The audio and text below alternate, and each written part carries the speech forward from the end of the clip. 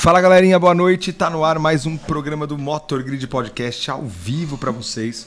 O último mesmo feriado ao vivo também, né? Sim, com o Clebão. Você vê? Leilão, venda ao vivo. E você pegou M2? Podcast. Hã? Você pegou M2 com ele? Não, não tenho cascalho. Ele começou a mandar vídeo pra mim hoje do M2. Da M2? Ele, falou- quer fé em você agora. Não, M2. é uma manual. Aí ele falou 599, eu falei, ah, tô voltando 799. Dele, falei, só pagar uma no dívida antes ainda.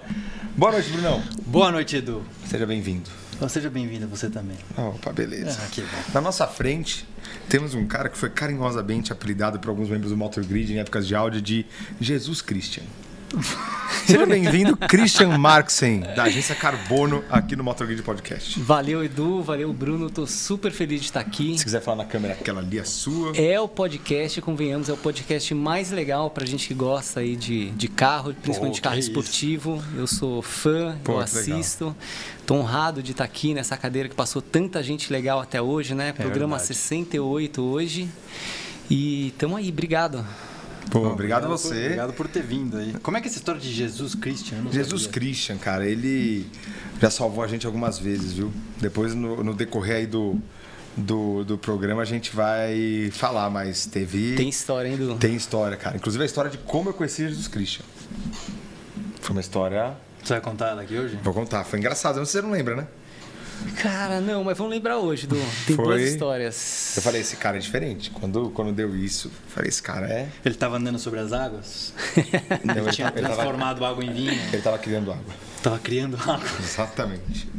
Foi um dos caras, um dos primeiros, um dos primeiros caras aí no primeiro terço de vida do Motorgrid que apostou no Motorgrid. Pô, que animal. É isso aí. A gente viu bastante coisa juntos, né? Do Bastante. Motor Grid evolui bastante. É isso aí. Enquanto tinha cara que ligava pra ele, falava, pô, esse moleque aí é de balada, ele bebe, ele não sei o que, não sei o que. Tudo verdade, né? Mas Christian- você não misturava o trabalho com. Eu lembro que o né? Christian falava assim, mas eu não quero mais o cara de cafezinho de tarde no, no escritório, eu quero alguém que se relaciona com as pessoas. É verdade. Bom, Isso aí. Christian, a gente sempre começa. Ó, o Fuji tá te mandando um abraço, tava no nosso track day. Grande abraço Assiste a gente ele. direto, cara. Quase todos Demais. ele tá aqui comentando. Muito legal. Boa, Vamos ter que falar de assistindo. track day hoje também. Vamos hein? falar também, foi legal, hein? É, foi animal, hein? Faltou um piloto lá, né? Quem? Ah, eu? É. É. Faltou. Faltou um piloto lá pra, pra dar uma instruída. Tinha um, tinha um cara lá que tava precisando de um coach, que ele tava querendo bater tempo ali. É mesmo? É. E conseguiu? Tem 15 anos de idade no GT3992. Ah, e você acha que eu ia subir no carro com ele? Ué, 15 anos de idade no mas- GT3992. Mas virou tempo que se ele tivesse com o pneu da galera, ele virava top P1. Ótimo. Mas temos que falar pra quem não sabe, né? Ele Esse tem- último domingo teve o Motor Grid Track and Friends. Isso aí, segunda né? edição. da segunda edição. Foi, Foi maravilhoso. Um sucesso. Muita Melhor coisa. ainda do que a primeira que já tinha sido um sucesso, né? Dessa vez o tempo ajudou, né? Foi sold out de sold out, né? Foi. Qual foi. motor grid não é sold out? Não, mas daí É, foi. Mas no meio do feriado, Bruno, a gente É não verdade, tava é, esperando tanto sucesso, assim, né? Mas foi Tem razão. muito legal e Tanto que tinha algumas datas, você falou, cara, vamos mudar a data, vamos mudar a data. Eu falei, não, vamos manter, vamos manter. o Edu apostou, Dois acreditou. meses antes a gente consegue fazer. É, já tem coisas aí no Instagram pra quem quiser ver em casa, né? Do Já perfil tem. do Motor Grid e tem mais novidade aí que a gente vai soltar nos próximos dias. Que animal, hein? Bom, antes Mas de falar vamos do track, Christian, como você foi parar no mundo automotivo, cara? Cara, eu nasci no mundo automotivo, para É falar a mesmo? verdade, né? Porque é, não sei nem se você sabe, Edu, mas o meu pai ele trabalhou nessa indústria por muitos anos, assim. Meu pai é alemão, né? Eu venho então de família alemã. Meu pai ele trabalhou por muitos anos na Volkswagen antes de virar empresário. Então acho que eu tinha um pouco essa coisa de é, admirar meu pai, curtir as coisas que ele fazia e ter um carinho assim pela por automóvel, na verdade por tudo que, que tem motor, né? Meu pai é um cara que, puta, curtia andar de moto, estava de paraquedas, pilota avião, então sempre tive meio envolvido assim com essas com esses assuntos, né? E e foi uma coisa que, que veio assim de família, né? De pequeno já andava de moto, aprendi a dirigir cedo, só que quando chegou aquele momento de decidir assim o que fazer profissionalmente. Foi uma coisa muito natural para mim buscar esse caminho das, das empresas né? E eu acabei ficando muito tempo trabalhando nas marcas principalmente as alemãs. Comecei minha carreira profissional trabalhando na Mercedes. Como? como estagiário. Entrei lá Estagiário, como que estagiário na área de comunicação, já era apaixonado por carros, né? já tinha conexão aí com, com a Alemanha, falava alemão, falo desde pequeno, então foi uma coisa assim que é, encaixou muito com, com o que eu queria. Fiquei dois anos lá, Depois trabalhei dois anos com eventos e logo teve uma oportunidade de entrar na Volkswagen, que foi o grupo aí que eu acabei ficando, acho que quase 15 anos, né? Entre Caramba. Brasil, Alemanha, as marcas que eu passei. Vou até contar um pouquinho. Entrei na Volkswagen do Brasil, também na área de comunicação. Fiquei uns quatro anos trabalhando é, por lá, que foi assim é, uma empresa que me deu muita oportunidade e me mandaram para a Alemanha que aí acho que foi a parte mais interessante de estar num grupo como o grupo Volkswagen, né? Acho que mundo, muita vai. gente que acompanha aqui sabe que a, a Volkswagen é a, é a, segunda ma maior marca, né? Tá sempre disputando aí com com Toyota, mas é o grupo é um grupo muito grande que é dono da Porsche, da Bentley, da Bugatti, da Skoda, Lamborghini, Lamborghini da Ducati, da Audi, né? Então assim foi muito bacana é, ser transferido para a Alemanha, onde eu saí, não saí da marca, mas eu fui transferido para um núcleo do grupo Volkswagen, né? Então além do contato com a marca Volkswagen, eu tive contato com todas essas marcas que é, acho que é um sonho, né? Assim para um jovem profissional de, de comunicação e de marketing tá na Alemanha é, e eu tinha uma função que eu era muito ligado a altos executivos dessas marcas, né? Então, por exemplo, uma vez por mês eu me via numa reunião em Munique com o chefe de comunicação e marketing da Bentley, o da Bugatti, o da Lamborghini, o da Audi e foi uma baita escola, assim, né? Muito legal, muito privilégio, assim, no sentido de poder ter contato com essas pessoas, de estar de tá dentro dessas marcas tão incríveis, né? Muita oportunidade de participar de eventos é, dos mais variados, conheci, assim, viajei muito, né? Fiquei dois anos no total na organização, no grupo lá na Alemanha, mas dois terços do tempo viajando, então, puta, era China, Rússia, Catar, é, assim, fui para cantos que eu não imaginava, e eu não iria tão cedo se não fosse se não fossem essas oportunidades de trabalho. Então, basicamente é, é isso, né? Vim parar na indústria por conta dessa, dessa ligação na família, por conta do meu background com a Alemanha, por ter o idioma alemão. E acho que foi assim que começou, né? Depois Você falava veio... alemão já? Eu fui alfabetizado em alemão. Eu nasci Caraca. em São Paulo, eu morei na Alemanha de bebê, mas eu, é, eu aprendi alemão, enfim, foi tua numa escola de... alemã, eu fui alfabetizado primeiro em alemão, depois em português. Isso foi algo que na minha carreira foi determinante, assim, porque eu nunca fui um Caraca. bom aluno, nunca fui um bom cara, assim, de, até história boa sua de, de faculdade. eu até vou fazer, vou fazer, falar pra você contar uma história aqui. Ixi, preciso lembrar, não sei do eu que você tá sei. tá falando, mas vamos... É, revista... Nossa, não, isso daí. Mas a gente, enfim, tive essa, esse privilégio, né, também de poder estudar numa boa escola, aprender alemão. Isso me abriu muitas portas. Eu nunca fui um cara de, de, de estudar muito, de ser muito dedicado. Então, assim, o idioma alemão foi o que realmente foi determinante para poder entrar numa empresa como a Mercedes, como a Volkswagen, né?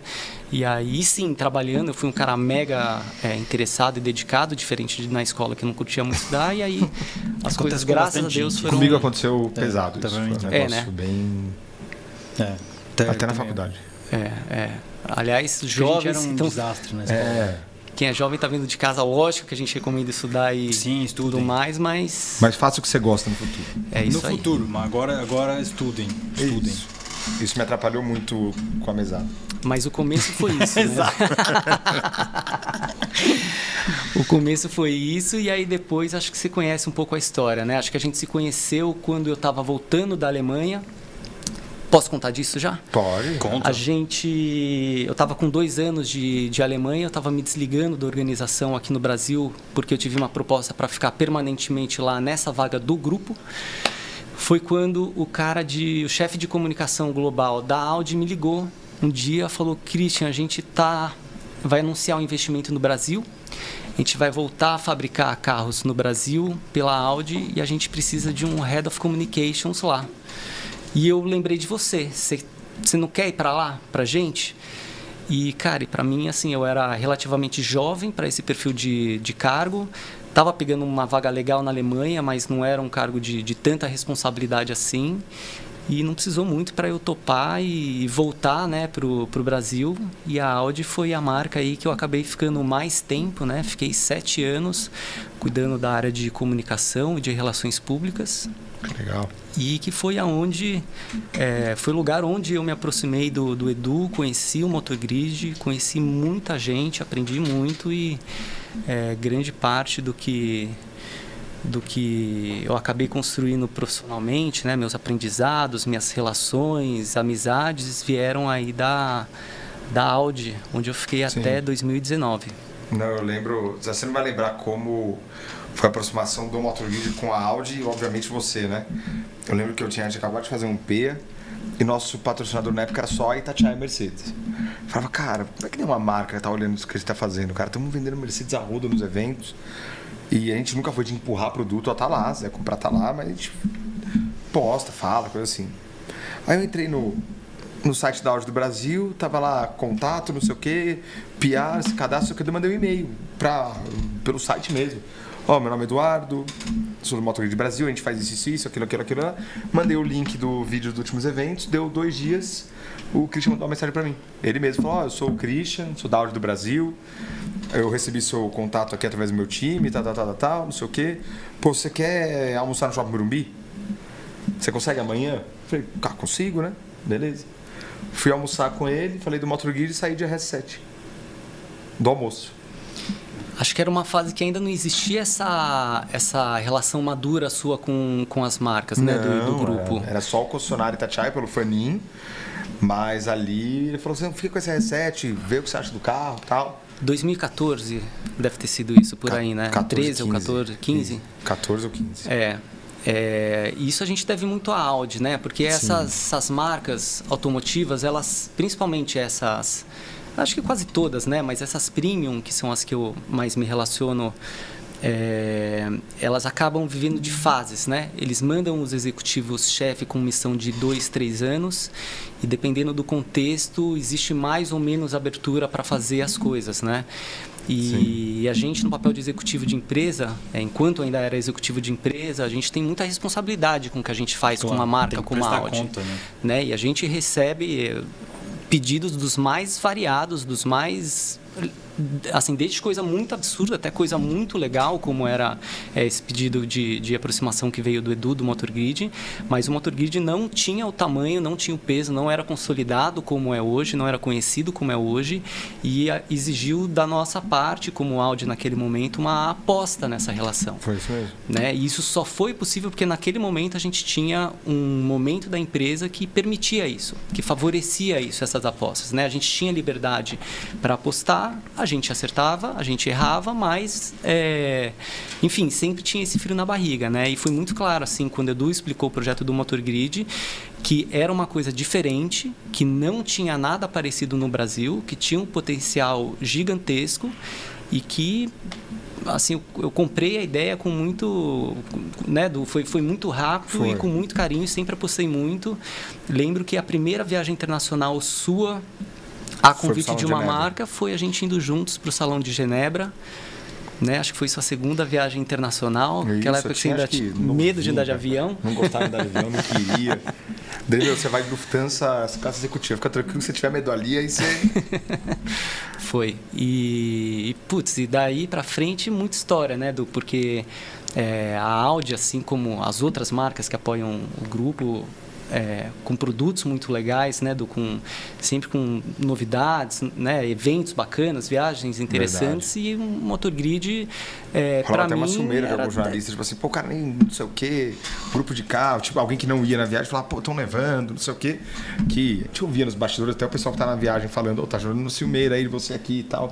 Daí eu falei, mas jornalista, mas eu sou jornalista? Esse é cara motor... é mesmo? Eu falei, sou, ué. O Motor Grid ele chegou ou ele conviveu com, com muita transformação do cenário de comunicação global, né? não só no Brasil. Né? Foi na virada de chave. Né? De... Então as empresas tinham essas estruturas, né? marketing para comprar mídia, para fazer tantas outras atividades, PR olha mais para jornalistas e tal, começando a surgir blogueiros e tal. Agora o Motor Grid ele é uma ele é uma grande plataforma, né? Ele é uma plataforma de comunicação, ele é uma plataforma de relacionamento, ele é mídia, né? Ele é experiência.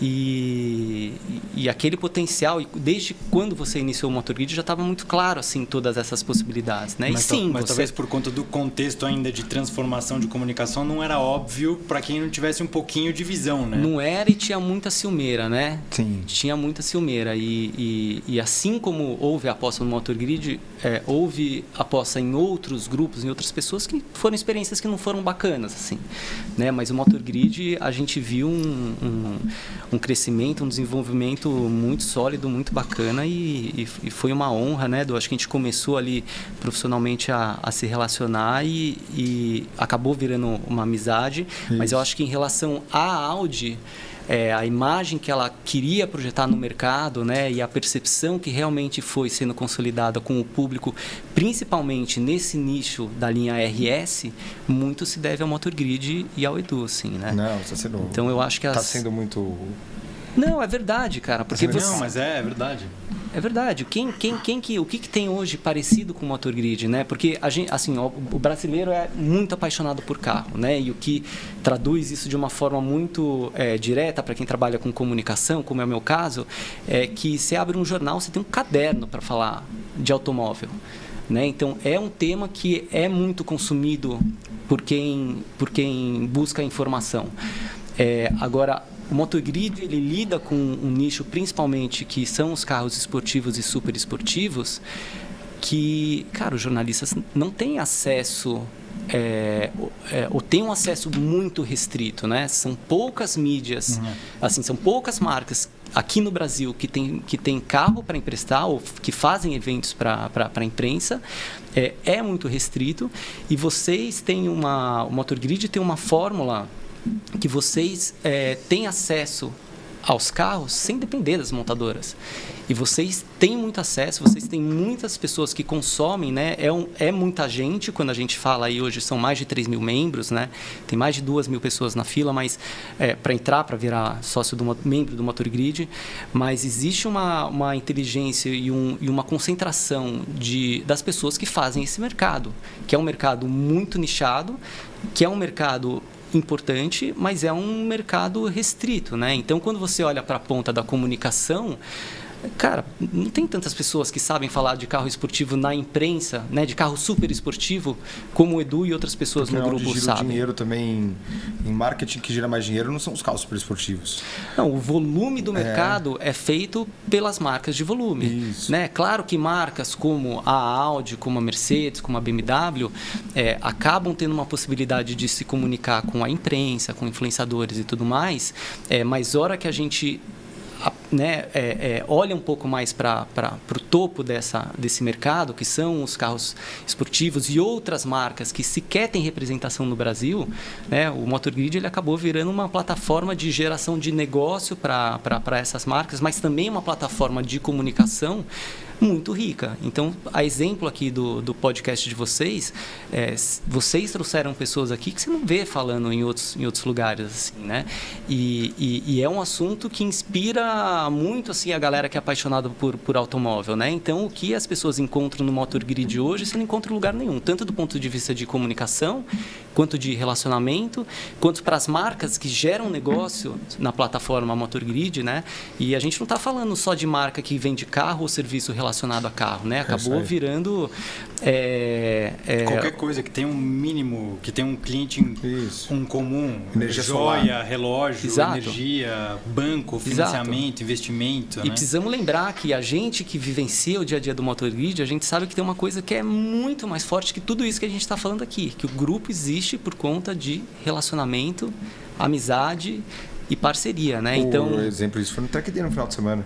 Você via é, um cara com um carro super, hiper esportivo de 8 milhões, que o cara, o intuito dele não era virar a melhor volta do evento, mas ele queria ir lá para se divertir. É. E você não viu o cara que tava em primeiro falando, ó lá, andei na frente daquele. Você viu o cara no alambrado olhando o carro do cara passar, eu, filmando, falando assim, caralho, que, foi, que, barulho. Eu acho que foi criado um ambiente tão legal e um ambiente tão de, de amigos que é justamente se você olha do ponto de vista das marcas, né?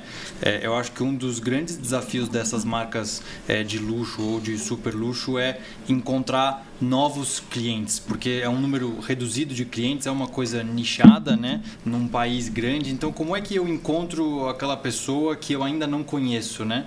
E aí, e, e, e são pessoas de difícil acesso, como você falou.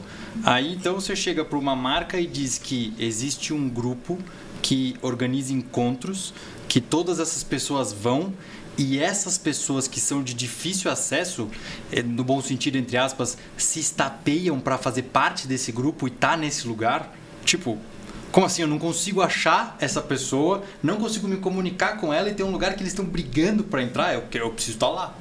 Né? Isso. E um clima muito legal de amizade, de, de parceria, de Isso é. família, é. né? É, esse é. track day pra mim ficou, acho que foi o evento mais claro para mim, porque eu falei, cara, estamos com bastante carro inscrito. Temos carro que fica na garagem e o cara não vai nem pro restaurante. E o cara botou no carro na pista. E tem cara que vai em todo track day, que é rato de pista, que não sei o quê, que cria uma rivalidade em alguns eventos aí, e ali os caras vão alambrado olhando o cara passar com o carro e tipo, vibrando. Um outro que a gente até comentou do. do aqui nos bastidores, não sei nem se o programa tá no ar, foi nos bastidores do menino tá, que tem um GT3 992, que ele é menor de idade, mas tem carteira de CBA, tudo. Família inteira dele lá, trouxeram para ele baixar tempo para ele ganhar o troféu, faltando 10 minutos para acabar a cronometragem. É, e o pessoal que tava correndo com ele, que tava na frente, torcendo para ele baixar pela alegria tudo. Então, quer dizer, cara, é um negócio que, que ali para mim eu falei, puta, cara, ninguém se estapeou. Tinha cara perdendo volta para não prensar outro em curva.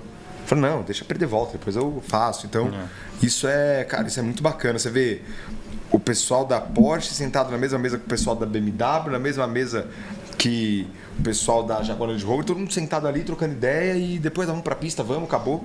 Coisa que, puta, cara, é. Isso é muito único, né? E, e a gente, eu posso até falar com experiência, a gente caminhou para esse lado, mas as pessoas entenderam também. Isso foi muito bom. Porque às vezes pega 10, 20, 30 rebeldes que não entendem lá no começo, você perde o controle, não tem o que fazer.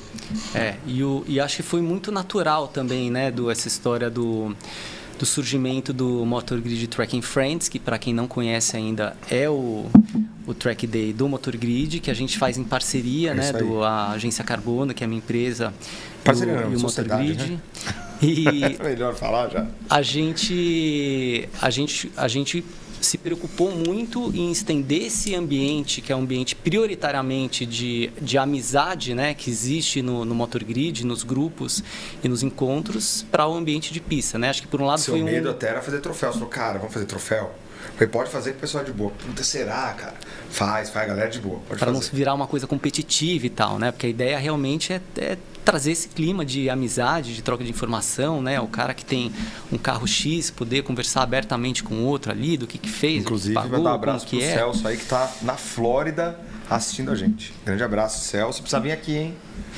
E, e Du, a gente precisa também aproveitar e, e, agradecer né, as marcas que, que fizeram isso acontecer, né? Porque é, são caras como o Marcel da Gun Brasil, Gustavo da Bexp, né, nossos amigos Ricardo e o Paito, que também super apostam aí no, Tony da Rally, no evento, Tony da Rally Calaça, Design, Paulinho Calaça da Triseg, toda a Felipe turma da Triseg, Felipe, que, meu, galera amou a participação do Jangada lá. Do Track Day. Estavam assim, o Gustavo da Bex, não, o próximo evento eu vou, é, eu vou trocar o pneu, vou usar tal pneu. Aí o cara, não, eu vou trocar não sei o quê. Então o cara falou, só não troca o temaki, deixa a jangada lá. Podem trocar o que vocês quiserem, até a pista, mas o jangada vocês não mexem. É. Quem mais? Esquecemos de alguém? Falando o RS Simuladores. RS Cara, a gente tinha um Hash simulador lá, Bruno. A Hash, que também é uma mega apoiadora nossa. Precisamos mandar um super abraço para eles, mas assim, a gente conseguiu fazer um evento é, que algumas pessoas comentaram, né? A galera que vai Colonial muito e Calu. Colonial e Calu. Mas a galera comentou, é, eu vi de mais de uma pessoa que nunca viram um track day aqui no Brasil com nível de carro é, como aconteceu lá esse final de semana, assim, né? É então, o nível de carro do Motor Grid está muito bruto. Não né? existe Hoje eu recebi uma ligação de um cara bravo, né? né? Que tem uma clara em cena. Você nem me chamou. Eu falei, como não chamei, cara? Vê aí sua caixa. É. Até falei, cara, acho que eu não chamei. Mandei mensagem, pedi desculpa. Cara, eu acho que eu não te chamei. Não, você chamou sim, eu vi aqui agora. Então, assim, eram 43 carros. A gente estava esperando 30 no máximo, né, Du? 43 ah, carros. Cara, na hora lá. Isso, isso só na pista, só né? Na Porque pista. no total de carros lá assim, deu quantos carros? Deu... Ah, a gente não, não, acabou... É, Foi a gente um cara só, tipo, quatro amigos em um carro. É. Então, como... É, foi, mais, foi mais de 100 carros, né? Ah, foram. Se a Mas gente somar tudo, foram. ali. É, e assim, e o Track Day, contando obviamente com os amigos da Tio Drive, né? Nossa, Betinho, Betinho, Grécio. Hanna, a gente consegue atender. A A gente gente, não, não tem dor de cabeça, cara. Betinho, Track foram Day, quem 40 tá fazendo? foram ah, mais Betinho e o Hanna. Betinho são mais de 40 causas. Ele parou olhou pra minha cara assim, é? Falei, é. A pista tá quente, sua sorte, ninguém vai dar mais três voltas aqui que tá muito quente. É, mas tudo assim a gente pôs é, realmente do Foi melhor, né? Segurança. comida, assim, segurança em primeiro lugar. Então, muito É tranquilo ter o Betinho, o Johanna e todo o time da Tio Drive coordenando o, o evento, né? Mas estava assim uma paleta de cores ali dos carros, Nossa, né? De uma legal. diversidade assim. Pior, e- tava muito legal, cara. É, cara, é mais legal ir no Track Day do, do Motor Grid do que você ir no que era um salão do automóvel aqui em São Paulo. Porque você não vê Nossa, é tanto verdade, carro cara. E o cara especial acelerando, os junto, caras- verdade.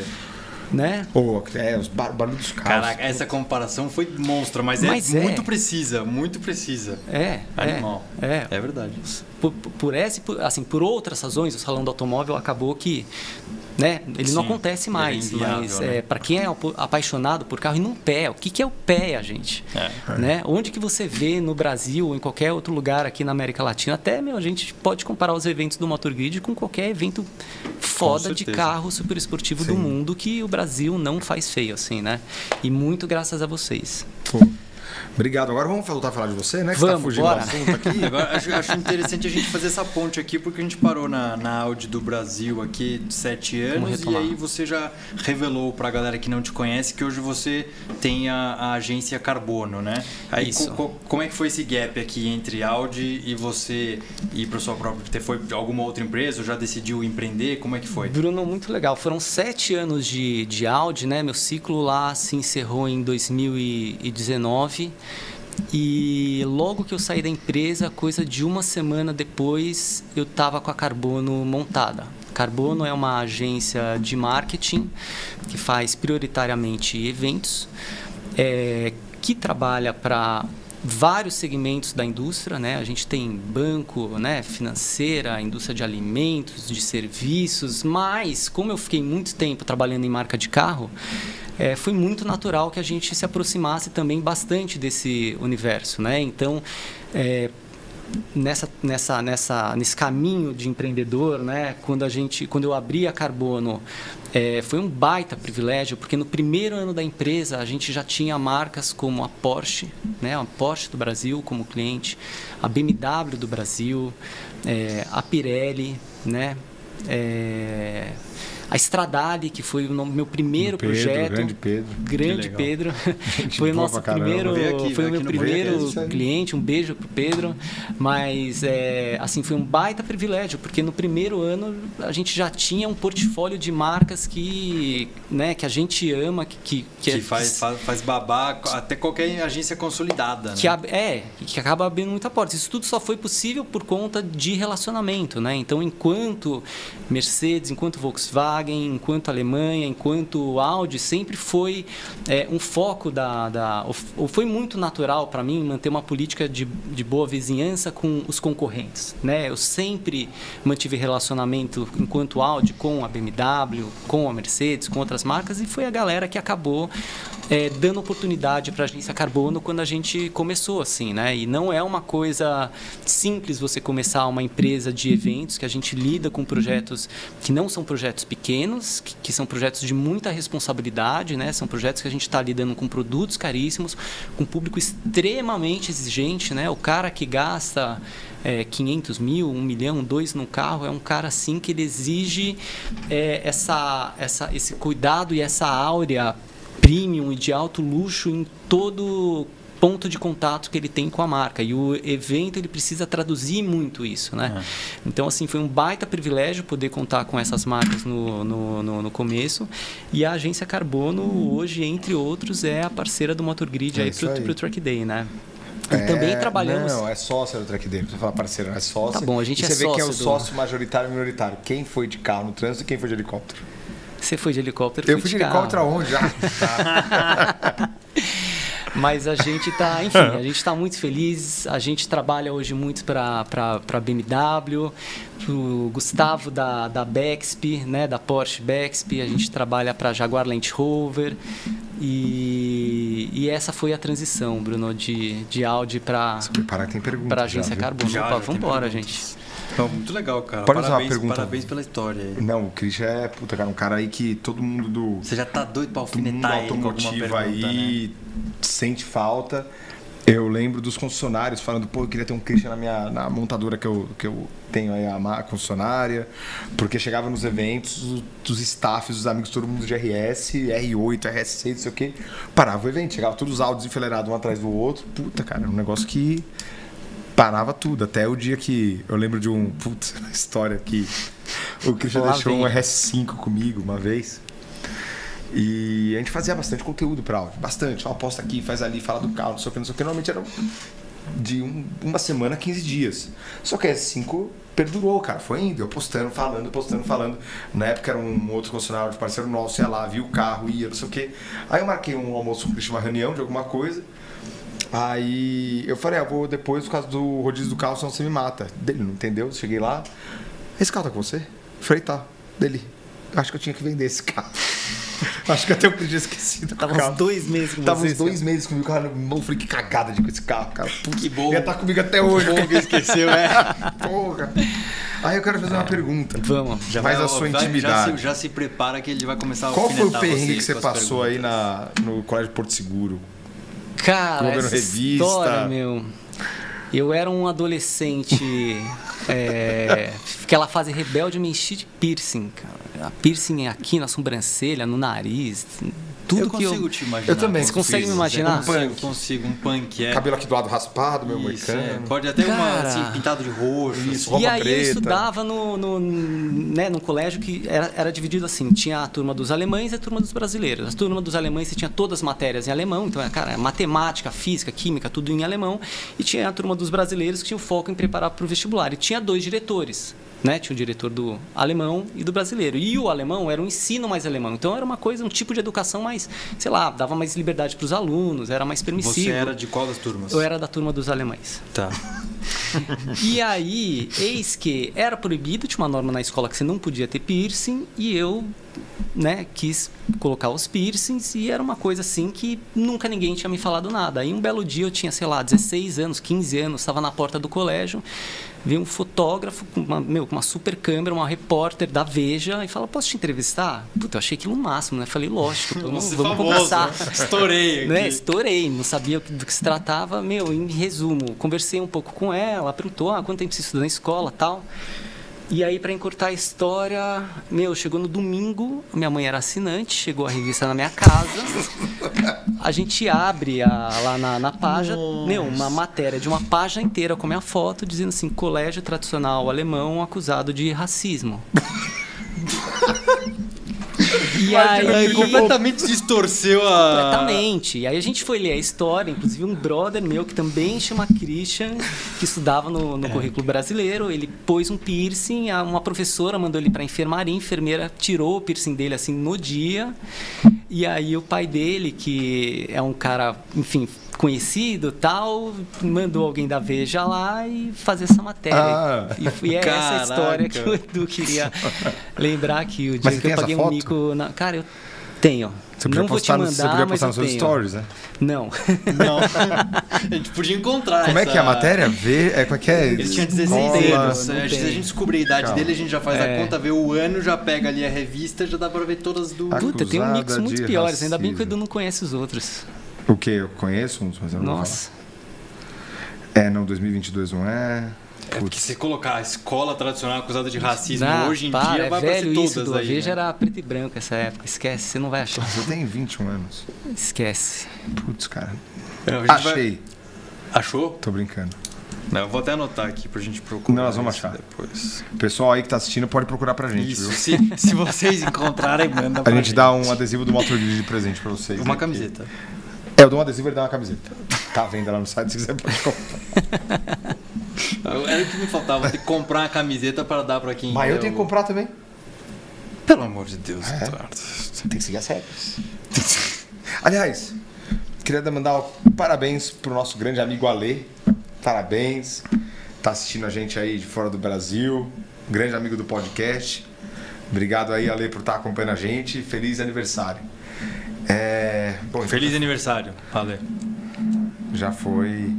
Essa pergunta foi boa, mas tenho, eu não vou perguntar outras coisas. É, cara, já teve um carro que você emprestou na época que você era PR da Audi pra alguém que você se arrependeu e você emprestou de novo e falou, cara, por que eu prestei de novo pra esse cara, velho? Alguém que, tipo assim, não precisa falar nomes, mas já teve algum caso e o que aconteceu? Porque a gente sabe que tem uma galera que abusa mesmo. Tá nem aí, o carro não é meu, já era, tchau.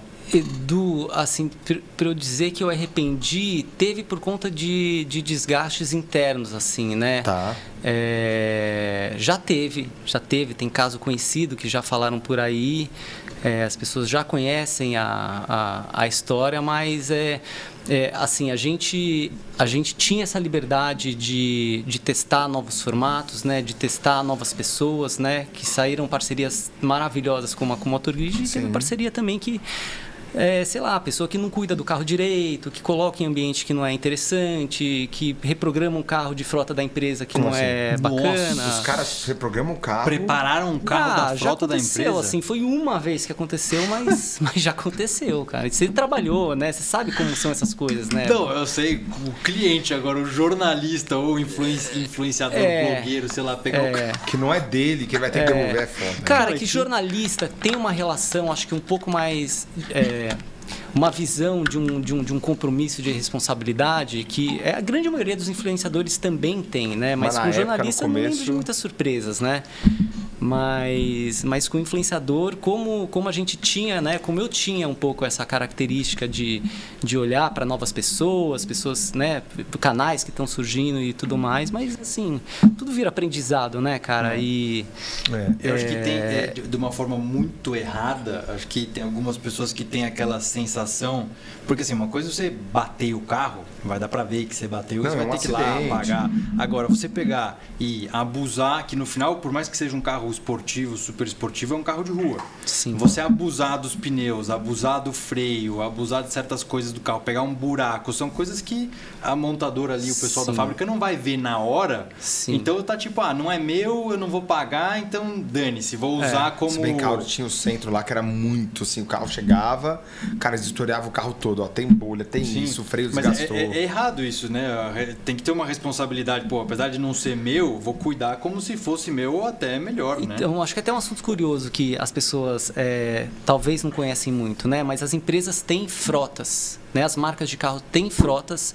cujo objetivo dessas frotas é gerar repercussão, né? gerar mídia espontânea para a empresa. Então, quando uma pessoa, seja um influencer, um jornalista, um, um VIP, é, recebe um carro desses, ele assina um termo, um contrato de comodato, em que ele se responsabiliza é, em cuidar bem do carro, né? entre outras coisas, em não Sim. fazer um remap no carro, mas enfim. Mas que a pessoa se responsabilize, inclusive, por danos. E posso falar, no caso é, da Audi, no período em que eu trabalhei, existia um bom senso muito grande.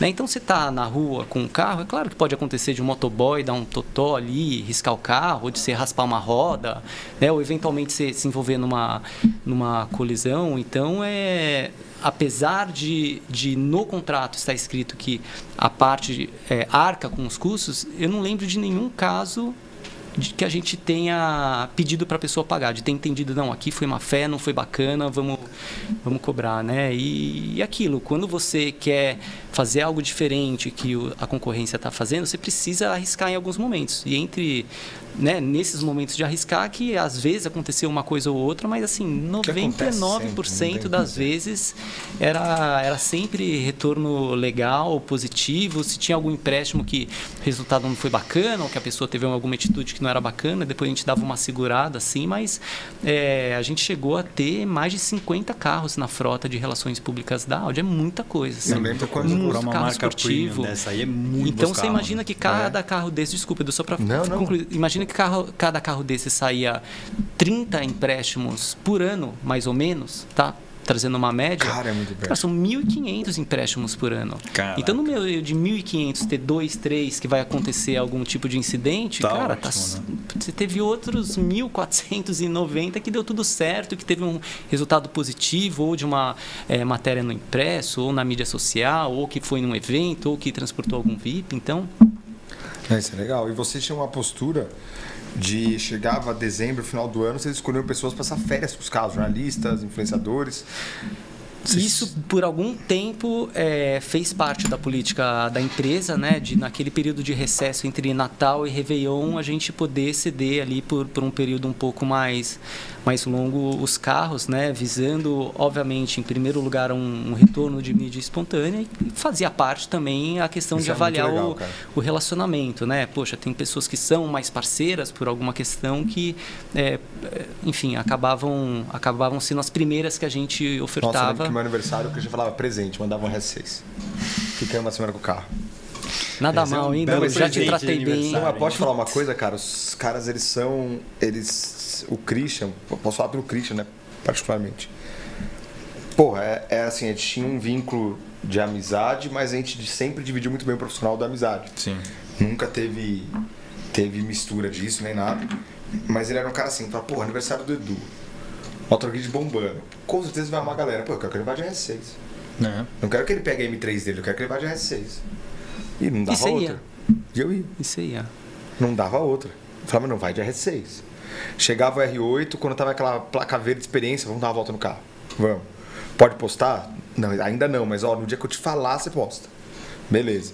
Então, era uma coisa que se for ver, pô, não tô falando nem de grupo de carro, mas pega um, um ator, um cara que, que é, tem uma repercussão aí, uma, uma visibilidade grande, e fala, cara, passa o teu aniversário com esse carro.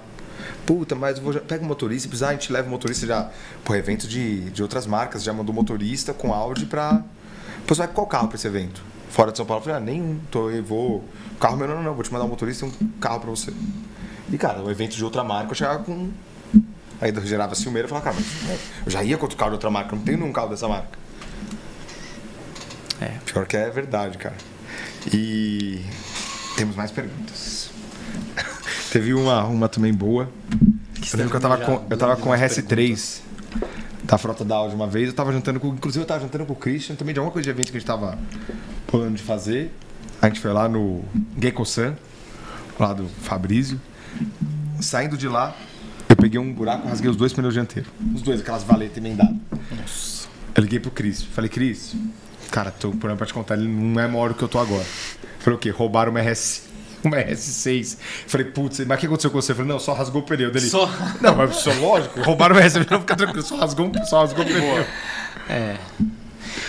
Cara, isso aconteceu Foi inexplicavelmente. Esse carro não apareceu até hoje. E, E foi foi uma só ele, né? sequência que, num curto período de tempo, uma coisa assim de talvez dois meses, roubaram um RS6 da mão de um jornalista e um TTRS, um TTS, TTS. um TTS.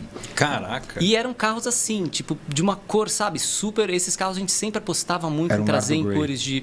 Aliás, é outro ponto legal pra gente falar aqui. A Audi foi a primeira marca que trouxe um carro Nardo Grey pro Brasil. É isso aí. Que virou um super carro- a cor do momento depois, Antes, né? exatamente. Exatamente. O primeiro foi um RS6 Nardo Grey que a gente escolheu lá para a frota de relações públicas da Audi, que deu assim polêmica inclusive na empresa quando a gente estava montando o carro para pedir, né?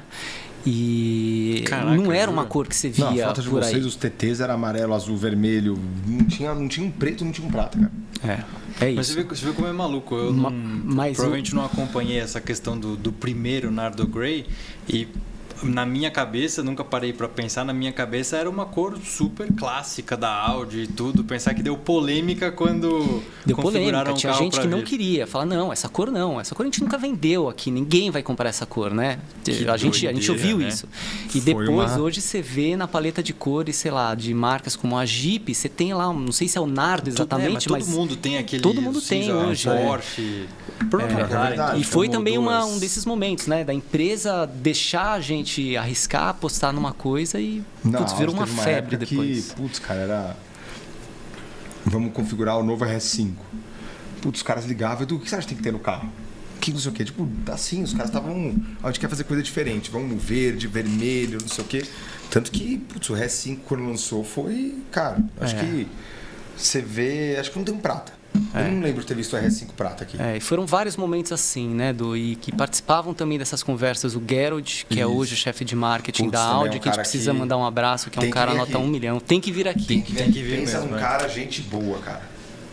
O cara, Gerald gente boa, competente. É, é o Eu cara que montava ciumeira. os carros, Ó, né? Nessa não época. vou gerar, falar alguma coisa que pode gerar alguma ciumeira, mas daqui uns anos vamos ver esse cara presidente de montador. Eu já ouvi muito isso por aí. Cara, o cara é. E eu vou ficar muito feliz o dia que isso acontecer. Tragam o Gerald aqui que vai render um episódio muito Vai, legal. Olha, olha, Geralt. Trazer o Geralt. Tá junto com a minha anotação da, da revista. Cara, e tem jornalista que. da carteirada, que vocês falam assim, caralho, o cara te vira refém de jornalista mesmo. O cara é de um grande veículo de comunicação, aí você já entrega o carro meio assim, já não sei o quê, e, o- e o cara da carteirada mesmo. O carteirada eu digo não é, ah, eu sou de tal veículo de comunicação, é. Você tem que tratar o cara no banho-maria, tem que, ah, não, não sei o quê. Rasgou um pneu, você tem que mandar um outro carro pra ele, que ele não pode ficar sem a matéria. E você fala, cara, mas você que rasgou, sabe, meio assim? Sim. É, Edu, assim como em qualquer área que a gente se relaciona, tem gente muito legal e tem gente que não é muito legal. Né? Tem gente que tem uma relevância por ter uma exposição na imprensa ou na mídia que usa isso às vezes para fazer um certo tipo de pressão que às vezes não é agradável, vamos colocar dessa forma, né?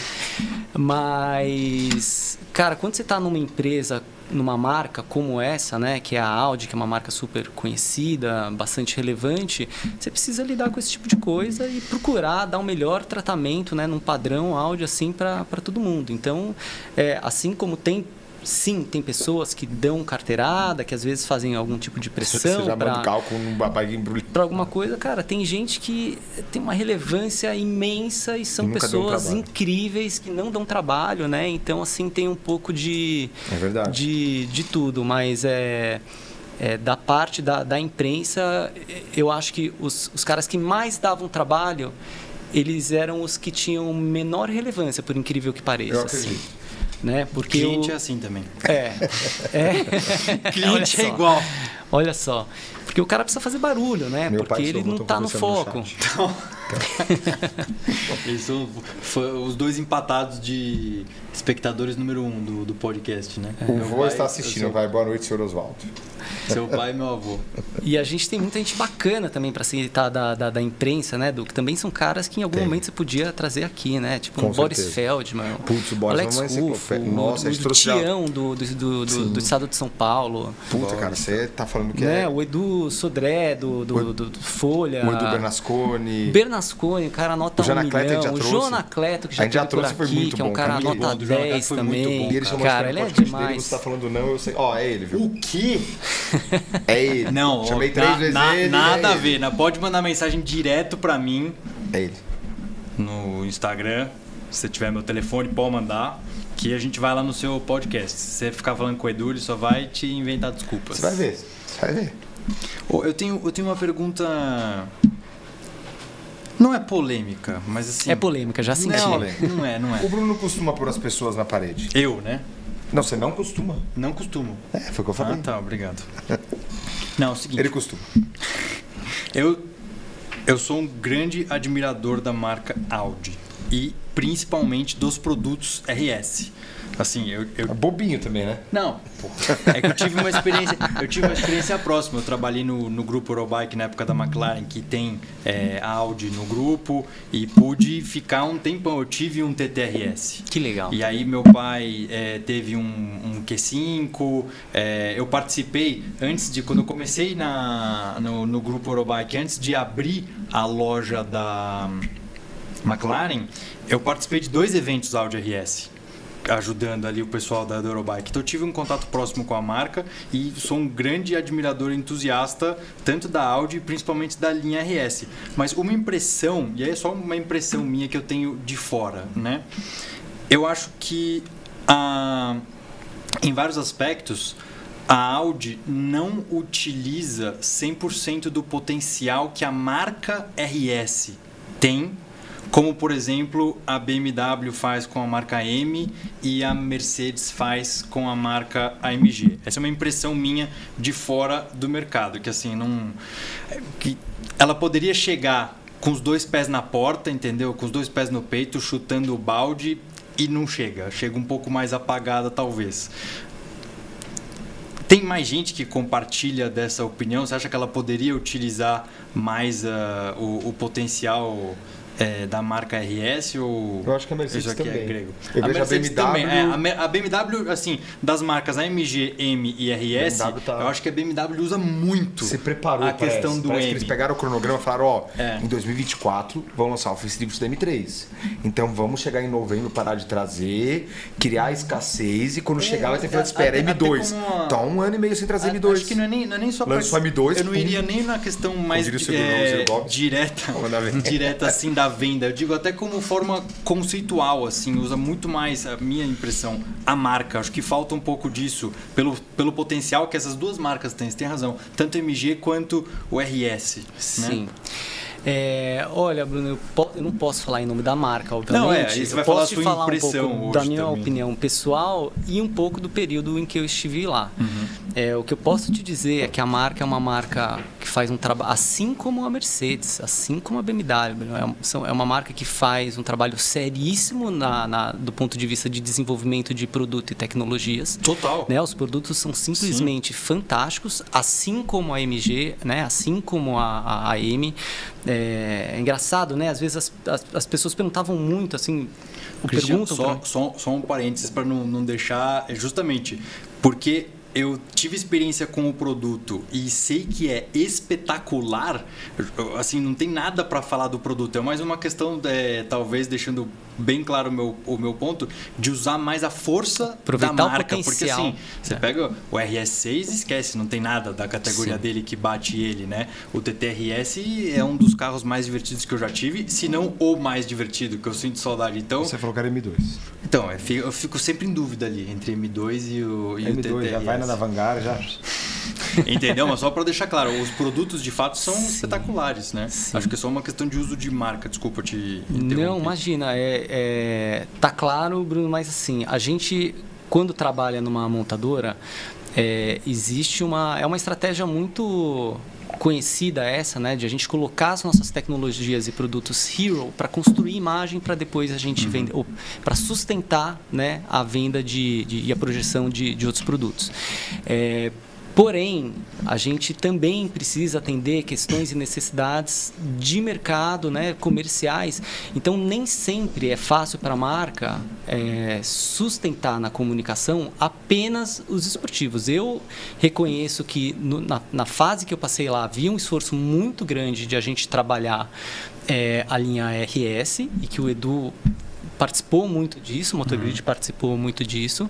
É, se existe um potencial de trabalhar a mais, eu vejo muito mais como é, uma necessidade também de você fazer volume com os carros de volume, né? Que a gente sabe que esses carros são carros de nicho no Brasil, que tem um volume muito pequeno proporcionalmente, em especial nessa época que eu trabalhei na Audi, que era uma época que, assim como que todas as marcas premium estavam buscando um volume de, de, de crescer 8 a 10 vezes o que elas faziam por ano.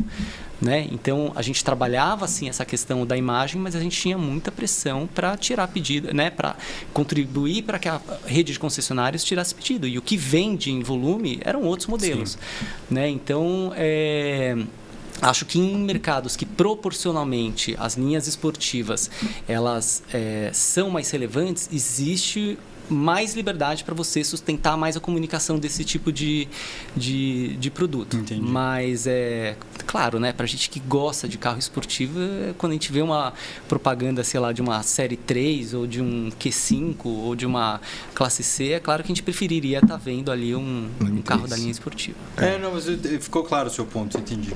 Entendi.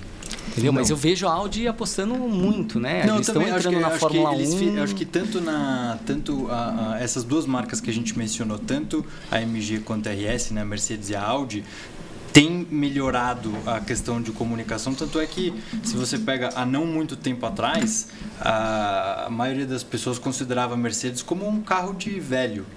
E hoje ela já está muito, ela ficou Não, muito mais jovem, é. cara. É, todo mundo que é mais jovem aí hoje fica na mesma dúvida quem pode ali ter um Mercedes ou um BMW ou um Audi, né? Então acho que eu Sim. vejo essas duas marcas, tanto Audi quanto Mercedes, Tem melhoraram uma essa. marca que você acha que é de velho?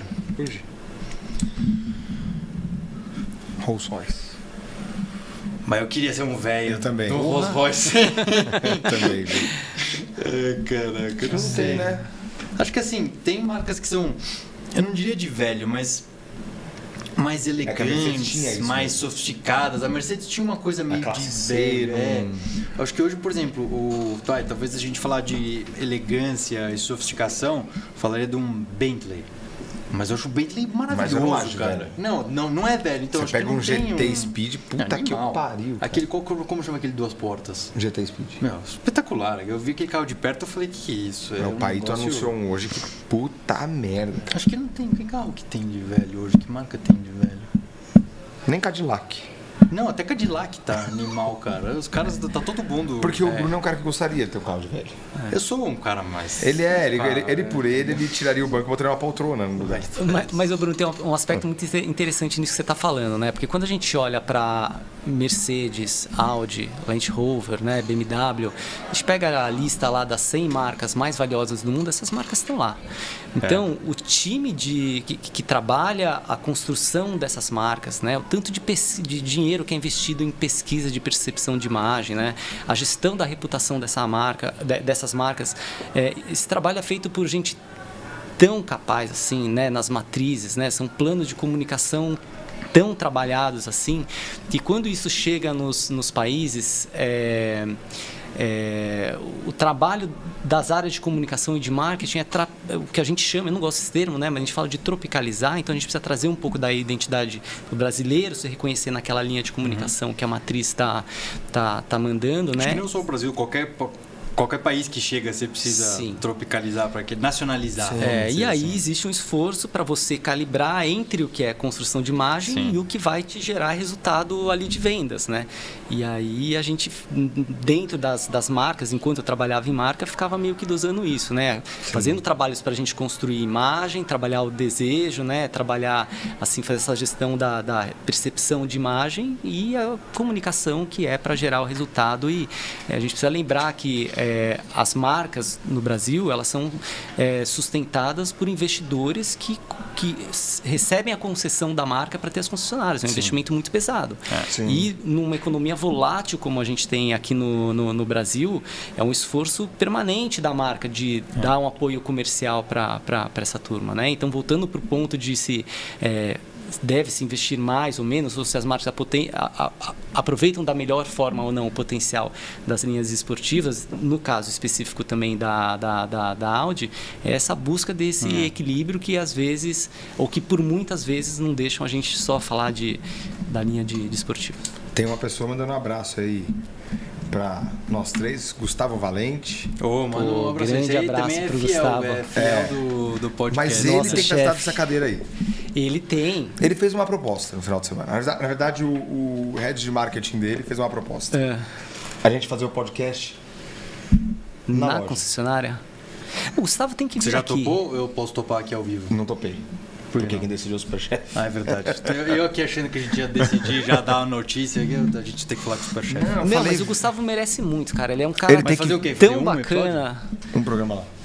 É um Mas eu, eu insisto ainda, Gustavo, pra vir. Mas por que, que ele não veio aqui? Eu, eu sempre, cara, toda vez que a gente vai ver convidado, não sei o que, quem veio essa semana, eu falo, pô, chama o Gustavo, chama o Gustavo Valente da Beck, chama o Gustavo. Então, tem muita gente pedindo não ele. quer cara. vir. Ele Mas tem vai que vir. vir. Eu até mandei mensagem pra ele, nem me respondeu. Normal. Mandei mensagem no Normal. WhatsApp pra ele pra ele Tem vir, que vir e vai ser um puta episódio. Pô, vai ser o animal, é Gustavo é um cara legal nota um ele, cara. milhão. Não, cara, tem uma ó, história muito bacana. Eu vou te falar uma coisa. Todo mundo que fala, ah, como é que é essa loja nova da Porsche? Aí eu falo, cara, eu não vou falar da loja, não vou falar de negócio, não vou falar se tem carro, se não tem fila, não é fila.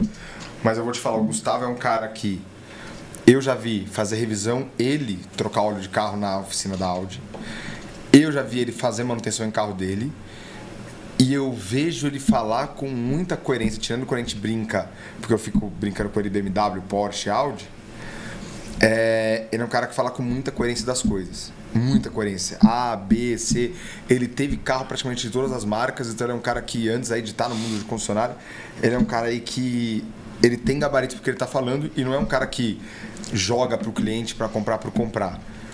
Eu já vi ele falar pra um cara, "Ó, esse carro não é a sua cara. O carro que tava, tipo, sei lá, com um, dois ele, meses ele venda. manja, que ele gosta Ele fala de guiar os carros, de carro, ele anda ele nos manja carros, muito ele de usa negócio. vários É isso aí. tipos diferentes pra ver. Quando ali, ele falou, né? vem nesse, o cara comprou e fidelizou o cliente mais a vida. Cara, imagina quantas empresas não queriam ganhar essa concessão que a Bexp, né, lá com o André e o Gustavo Foi- ganharam, cara. Acho E que essa todas, né? muito Até quem já tem queria. e essa escolha da Porsche Brasil, na Foi- minha opinião, foi extremamente Foi, foi acertada. acertada. Com certeza. E o Gustavo faz, faz parte disso. Ele tem que vir aqui. Do momento Sodier Chegou Instagramável. o momento Sodier maravilha. Instagramável. Eu- A gente já chegou à conclusão aqui, a gente falou com a, com a equipe que. Você até comentou.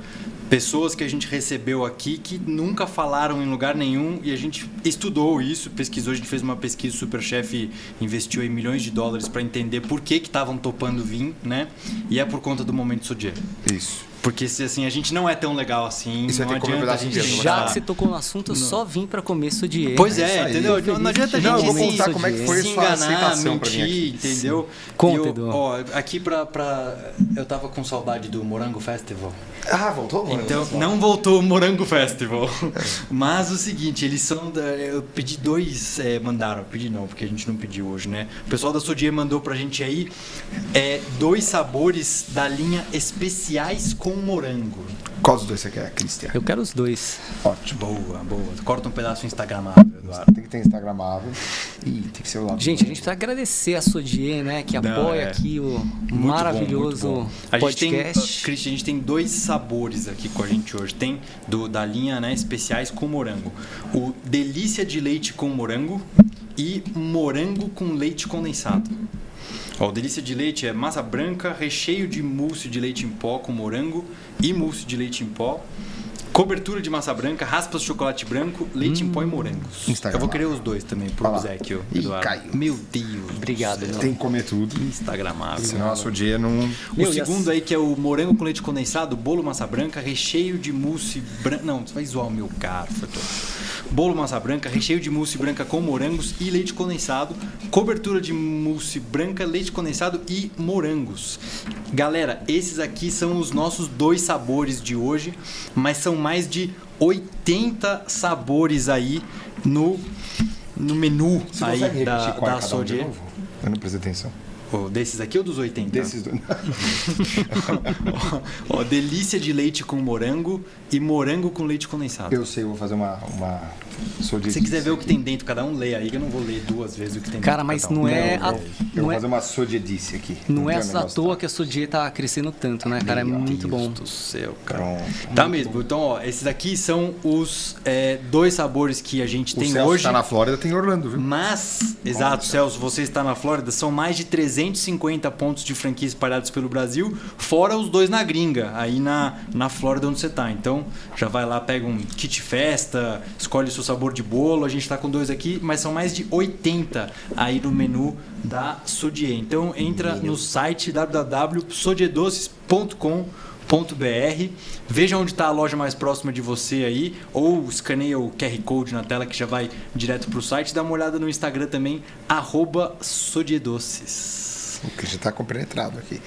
Pô, patrocinador master do podcast, É né? isso aí. Patrocinador E quem tem master. empresa e quiser patrocinar um podcast, pode? Rola? É só, lógico. Pode, tem Como que negociar, faz, Edu? tem que A negociar gente o carbono, Eu projeto. vi pode- vocês falarem isso aqui. Sobre o patrocínio do podcast? É.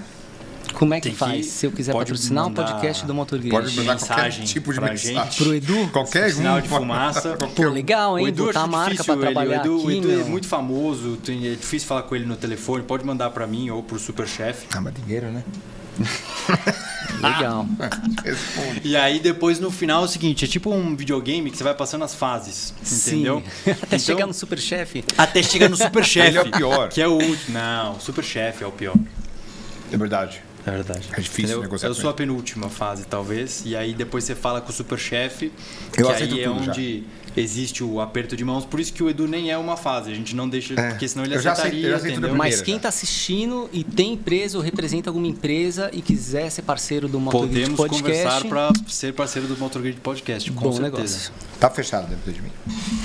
Já. Vou te contar como é que o Christian veio parar aqui hoje. Conta. Nosso convidado de hoje faltou. Aí o Bruno falou pra mim assim, ô, precisamos de um convidado hoje. Eu falei, precisamos. E um monte de gente não, não pôde vir. Aí, eu falei, Christian, o que você vai fazer hoje à tarde? Nada. Falei, então você vai podcast? Não. Falei, vai, na hora que eu vou dar uma lista de pessoas. Chama aí se eu consigo. Falei, você, você, você. E ele não tinha aceitado. Falei, Bruno, tá aqui o Instagram do Christian da agência dele, pode divulgar. Quando foi, eu falei, Foi isso mesmo. divulgou a cara. Não, e o melhor, isso Cris, mesmo. é que eu fiquei sabendo que a gente divulgou você sem você ter topado faz uma hora e meia. Eu não tive Foi um pouco escapar. antes do programa. Cara, tô bem feliz de estar aqui. com as pessoas. Aí, ó. Ia ficar feio falar. Tipo o Gustavo, né? A gente já pode anunciar o Nossa, Gustavo, programa terça-feira. 70. Caraca, galera. Gustavo Terça-feira Valente. que vem, galera, Gustavo Valente da Bexp aqui Isso aí. ao vivo no MGB Podcast. Pode Tá conferir. Se ele não vier é porque ele é safado. Ele já marcou e combinou com a gente agora, adivinha? ó. Confirmado. Pô, sensacional essa estratégia. Boa. Agora tem uma pergunta muito boa pra fazer pra você. Bora, Du. É verdade que você, na época de Audi, você fez parte da equipe que fez a parceria da Audi com o Neymar e vocês deixaram um dos únicos R8 GT Spider, se não me engano, tem dois no Brasil, ou um, dois, e ele tava com o carro via você e sua equipe? Cara, esses créditos têm que ir única e exclusivamente pro saudoso Charles Marzanasco. Um grande Charlinho. que né? era meu um patrimônio do mercado automotivo, né? Que para quem não, não conhece, ele era assessor de imprensa do Senna. Ele acabou ficando na Import como assessor de imprensa. É, fez a carreira dele por anos lá na, na Audi com um trabalho brilhante, um cara extremamente criativo, de um assim de um uma criatividade que ímpar, é um cara que eu devo muito, com quem eu aprendi muito, e foi ele que teve essa sacada. Ele viu um dia o Neymar passando pelo salão. viu o Neymar passando na é, avenida. É, não sei se ele estava com. Aquela época ele tinha contrato com a Volkswagen, alguma coisa assim. Sei que ele passou pelo stand da Audi, o Charles teve a sacada. O brilhante Kakinoff, se eu não me engano, era o CEO da Audi nessa época. Ele fez um alinhamento ali de 5 segundos e chegou no ouvido do é Neymar e falou: Meu, você vai embora com ele foi entre Neymar, foi entre Santos e Barcelona. É. Que ele foi pro Barcelona e o carro continuou na casa dele aqui. Aí depois isso veio a fazer parte de um contrato, de um acordo maior, né? É, mas essa sacada do salão, e assim como teve essa sacada, tiveram várias outras, assim, né? Então é. Gabriel Medina. Gabriel Medina foi na época Luiz do. É, teve. É, teve uma galera muito bacana, né? Que se aproximou da áudio, que a Audi se, se aproximou, né? O Alex Atala. Alex Atala. Gabriel Medina, que foi muito bacana. O Luigi Cani, que é um grande cara cara, alto também, milhão, né? E, e é legal isso, porque você acaba humanizando um pouco a marca, né? Essas marcas, elas têm todo um cuidado e muita restrição, às vezes, de, de, de personificar, né? De trazer pessoas, óbvio, porque são marcas que têm, assim, uma reputação... é, você construir uma reputação positiva é muito trabalhoso, muito difícil, é um trabalho de Negativa é muitos dois anos. E para você deixar um arranhãozinho ali é uma fração de segundo. Então, é, a áudio, eu tive sorte né, de participar de uma fase da empresa em que é, passaram por lá pessoas incríveis, assim, muito, muito bacanas e com quem a gente. Mas foi uma ação muito boa, porque parecia que ele tinha comprado o carro realmente, porque pouquíssimas oportunidades falaram, ó, a gente deixou um R8 com o Neymar. Então vocês deixaram o carro com ele, pouquíssimo, acho que mais no começo. Depois era ele que tava com o carro, vira e mexe, fazia um post espontâneo, tipo, virando volante, manobrando, tal. Então, e os amigos dele vendo o carro. Então foi um negócio muito muito legal, porque não ficou aquele negócio propaganda, olha, a Audi deixou comigo, galera, olha o que a Audi deixou comigo. Sim. Parecia que ele escolheu o carro e tinha comprado. E numa época que ele já estava em ascensão, não era o menino Sim. de 17 para 18 anos ou 18 anos que precisa ter CNH. Sim, é. E a hora que tava. você pega o, daí os relatórios depois, né, de aparição em imprensa, imprensa espontânea e tal, putz, a Audi estourou, né? E a Audi sempre teve essa, vamos dizer, essa tradição de, de ser uma marca muito criativa, né, na área de, de relações públicas. Então. É, tive sorte de trabalhar com muita gente legal, né? Depois teve o Cláudio que passou por lá também, que é um cara assim extremamente criativo, que também fez muita coisa bacana tá para a marca. Volkswagen. Tá na Volkswagen hoje, é um grande cara. Cláudio teve aqui já, mas a Audi teve carregou, acho que carrega até hoje, Só o né? Gustavo da Bex porque não veio ainda. Só ele. Que vai o Anderson, vir, que vai vir na terça-feira. E o Anderson na quinta-feira. Terça que vem, quinta que vem. Tá fechado. A semana que vem é uma semana imperdível Porque pro Anderson é outro também que tá enrolando. Pode- Não pode falar, não. Agora a gente já anu- anunciou já. Pronto, semana que vem, Gustavo Valente e Anderson Azevedo. E na outra semana, Gustavo Lima e Bruno Marrone. Se eles não vierem, eles se recusam. Pronto. Tá marcado. Cris, o que, que é mais desafiador? PR ou gerir uma agência? Olha, Edu, as duas coisas assim, Não, não. você Qual é mais desafiador? mais afiador É. piar, cara. Eu vou. Por quê? Eu vou. Porque quando você está trabalhando dentro de uma estrutura grande de uma empresa, você é, você tem parâmetros muito definidos assim, né, do, do que você pode, do que você deve. E essas empresas, elas são tão grandes e, e existe tanta tan- tantas, tantos sistemas de, de controles e protocolos que você precisa seguir e processos, procedimentos, fluxos de trabalho, Tipo, não tava aprovações. fazendo nada errado, mas tava fazendo tudo errado. Tipo, cara, se eu não seguir tudo. É, na verdade, assim, você fica muito tempo trabalhando para o sistema interno, né? Eu, como um cara de comunicação, eu me vi assim com 70% ou mais do tempo trabalhando para os processos da empresa e um, um- um tempo muito menor do meu dia ali trabalhando de fato com construção de relacionamento, com projeção da imagem da empresa, né? Então, é, é, eu sou um cara que- que, assim, sou muito disciplinado nesse aspecto, né? De me dedicar muito à empresa, querer fazer tudo certinho e é, eu me estressava muito, assim, né? Eu fui muito feliz, assim, adorei trabalhar em todas as marcas que eu trabalhei, passaria por tudo de novo com o maior prazer, assim, mas é, quando eu criei a Carbono, eu me vi com uma liberdade de poder construir os processos do jeito que eu acreditava, colocar os controles da forma que eu imaginava.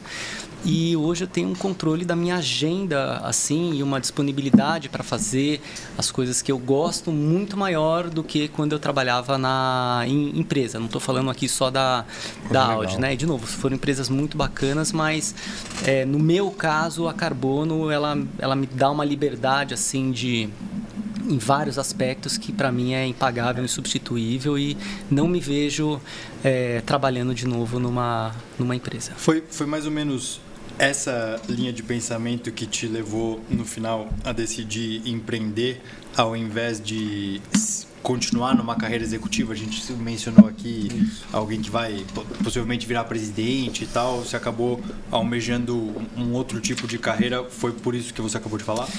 Ou Olha, outros motivos também?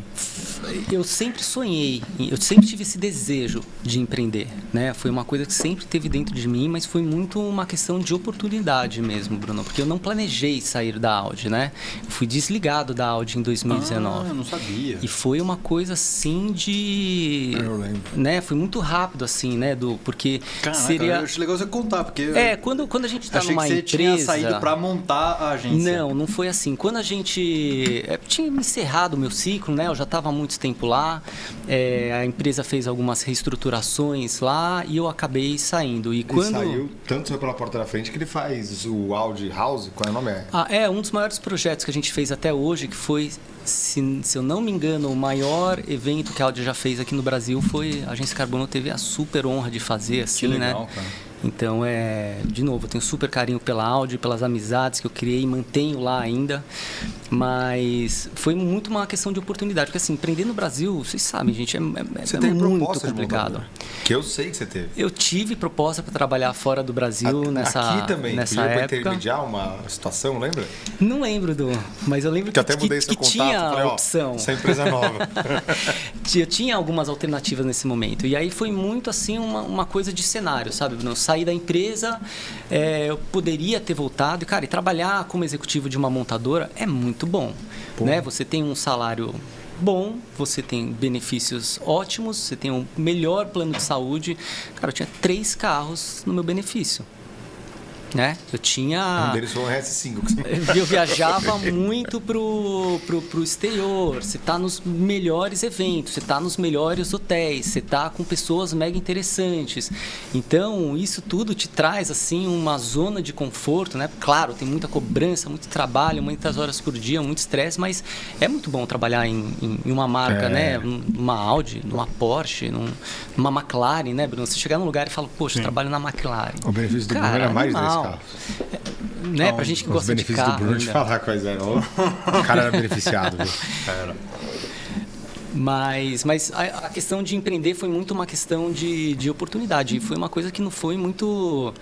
é, foi muito natural, porque é um tema que eu já trabalhava, que eu gostava muito, né? Mas é um. Enfim, empreender no Brasil, né, gente? Então, É. com pandemia e com tudo, né? E, e graças a Caraca, Deus. Começou logo depois, é verdade. Foi um, um ano depois, né? A gente estava assim à beira de fazer um projeto maravilhoso para a BMW quando chegou Verdade, o Covid. M3. E lançamento do M3, não foi? Nessa ocasião era um, era um outro projeto, Edu, mas um projeto muito bonito que a gente tinha criado para a BMW para falar da linha de elétricos e a gente teve que cancelar e foi uma, um momento assim que a empresa ainda no primeiro ano, né, ainda se estruturando, porque o negócio ele fica maduro ali pelo quarto, quinto ano, né? Tá com quantos anos a empresa? Agora está no sexto ano a empresa. Ah, então já tá bem maduro. Já. Não, Ah. a empresa está num outro momento, obviamente, graças a Deus, num momento, e há muito trabalho, num momento muito bom, mas naquele momento de um ano de empresa e a pandemia chegando, para quem trabalha com eventos, aquilo foi complicado para nós, né? É. E aí, Tinha que fazer campeonato de videogame, cara. Motor é, Nossa, é verdade. Corrida, cada track day um online. se virou como pôde. Por incrível que pareça, foi a pandemia que foi o começo de uma guinada da, da agência Carbono, assim, por N razões, a pandemia acabou é, sendo, do ponto de vista do crescimento do negócio, foi importante. É mesmo? Caramba. É, porque acabou tendo muito, depois do primeiro período em que tudo parou, né, aquele susto todo, começou a ter demanda de, de, de projetos de marketing digital, de, depois de eventos híbridos, né, de relações públicas. Então, é assim, foi uma coisa de hum, talvez um ano e meio que ah, ralei bastante, não tirei dinheiro da empresa, fiz bastante caixa, que aí depois que as coisas foram ficando confortáveis, assim, no sentido de, de o negócio ter um, um certo sucesso, né? Porque começar uma empresa do zero no Brasil, né? Tendo a pretensão que a gente tinha de trabalhar com grandes marcas, em grandes projetos, né? Isso é algo que, que a pandemia deu uma, uma balançada, mas a gente acreditou, apostou e estamos aí com bastante história legal para contar. Pô, com certeza. Você falou que trabalhou na Alemanha, né? Também como, como nas, nas montadoras. É muito diferente? É muito Brasil? diferente. É muito diferente. Cara, o alemão é um bicho muito diferente. Até o humor é diferente, tudo. né? Tudo. Cara, e é muito legal. Olha o porque. Olha o Kimon, é. O Kimon veio aqui no porquê você não sabia nada. Não, Kimon é demais, gente. Ele tem que voltar aqui. Ele Não, tava a lá mal-humorado, a você viu, no tem- A evento? gente tenta sempre, tenta fazer Ele tava mal-humorado, né? ele Ele, que chegou do É. nada no evento, né? É, chegou do nada. Lá, andando pra lá e pra cá. Dando Jet setter. Não, xingou uns três, quatro caras. É. Mas, cara, o alemão é muito diferente, Bruno. E o alemão é um, é um, é um povo, assim, muito é, sério, em primeiro lugar, muito produtivo. Então, cara, as diferenças de trabalhar no Brasil e na Alemanha são gigantescas. E o mix do brasileiro com o alemão, cara, dá muito bom, assim. Porque a gente é muito criativo, a gente é pau pra toda obra, sempre, a gente sempre dá um jeitinho das coisas acontecerem, né? E o alemão, por um lado, ele é muito eficiente. Tipo, você chega no escritório, o cara não te dá bom dia, assim. Ele chega, trabalha pra caramba, super eficiente. Não trabalha tantas horas no dia quanto nós, mas eles são... Eu sinto que eles são muito mais produtivos, assim, né? E aí juntava essa coisa da eficiência do processo, da seriedade, com a coisa do improviso, de Pensar querer fazer algo a caixa, mais, da criatividade. Putz, foi muito legal, assim. Eu gostei muito de ter trabalhado lá, mas é totalmente diferente, assim. ah, é tenho uma história boa pra diferente. contar sua também. Puta, lá vem. Putz, uma boa. Eu tava com a camiseta do Você motor. derrubou água? Pra caralho, primeiro minuto de podcast. Eu tava no Salão de Genebra com o Christian e era o lançamento do Bugatti Chiron. E tá lá os horários do lançamento dos carros, tá? Lançaram acho que a Speciale, também a Ferrari. Foi um dos melhores salões de todos os tempos aqui lá, para falar de lançamento de carro, inclusive, né? Tava a McLaren lá tal, e fomos. Então a volta eu tava pela Audi. Eu tava com uma camiseta só com o logo do Motor Grid. Aqui. O Christian, Audi, Volkswagen, não sei o quê. Aí ele falou, vamos tentar entrar, entrar no stand da Bugatti? Eu falei, vamos, né? Só tinha os caras de. os árabes lá, né? Aí fomos, não deu muito certo. Tá bom, dá uma volta e tal. O Christian virou pra mim, não sei se vai lembrar, tive uma ideia. Aí beleza. Pegou, pega uma foto do subsolo do JK, que tava os logos do Motor Grid, tava no seu camiseta do Motor Grid. Fui lá, peguei, dei o celular pro Christian, o Christian passou por segurança lá, falando em alemão com o cara, sei lá que língua ele tava falando. O cara olhou pra mim, olhou assim, olhou assim, pegou o cordãozinho assim, pediu pra anotar o nome, que já passou lá, passou, entrou. Falei, aí? Ah, falei que era sua coleção de carro. Falou que o, falou que o pé era, minha a sua cole- coleção é, de carro. Tava SLR McLaren, F50, GTO, não sei o que, não sei o que, não sei o que. O cara olhou pra mim, olhou pro celular, olhou pra mim e fez assim, ó, bom na dúvida. Na dúvida, deixa esse cara entrar. Olhou o logo da camiseta, olhou na foto de novo. Aí deixou entrar, aí ficamos lá, a gente ficou umas três horas lá, falando, vamos sair, depois a gente de Agora novo, vamos não. ver, exato. Vamos E é engraçado isso nesses salões. inter- Aliás, acabou de rolar é, Salão de Genebra no Catar, né? Eles Mas pegaram Genebra a marca? Salão de Genebra divulguei. E É tipo fizeram Rock in Rio Lisboa. no Catar. É tipo isso. Ah, Fizeram isso.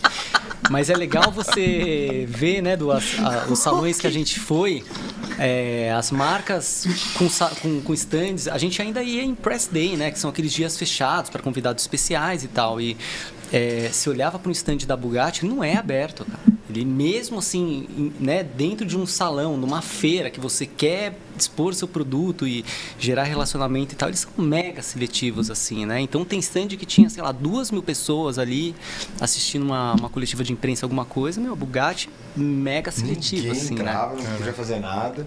E Mas entrou lá o, o shake brasileiro lá, do o Paraguai. Shake Skyr. igual o Paris Dakar em- no Mato Grosso. Isso. Paris, Dakar, Mato Grosso também. Rock Aí. in Rio, Lisboa e Genebra. Salão do de Genebra no Catar. Essa daí é... Pô, Essa é boa. Cristian, você falou que bem no comecinho aí que sua história começou porque você nasceu no, no mundo dos carros aí, né? E aí você foi muito natural é, começar a trabalhar com carro. Mas tem várias formas de você estar próximo dos carros, vários tipos diferentes de trabalho. Você nunca quis ser piloto? Cara, nunca quis ser piloto de carro, Bruno, porque eu gosto muito de moto também, né? Eu já quis ser piloto de avião, porque meu pai pilotava, tenho dois irmãos que pilotam. Mas de carro, engraçado que assim, eu já fiz vários cursos de pilotagem. Edu, a gente já fez curso até no Polo Norte lá, de drift, né?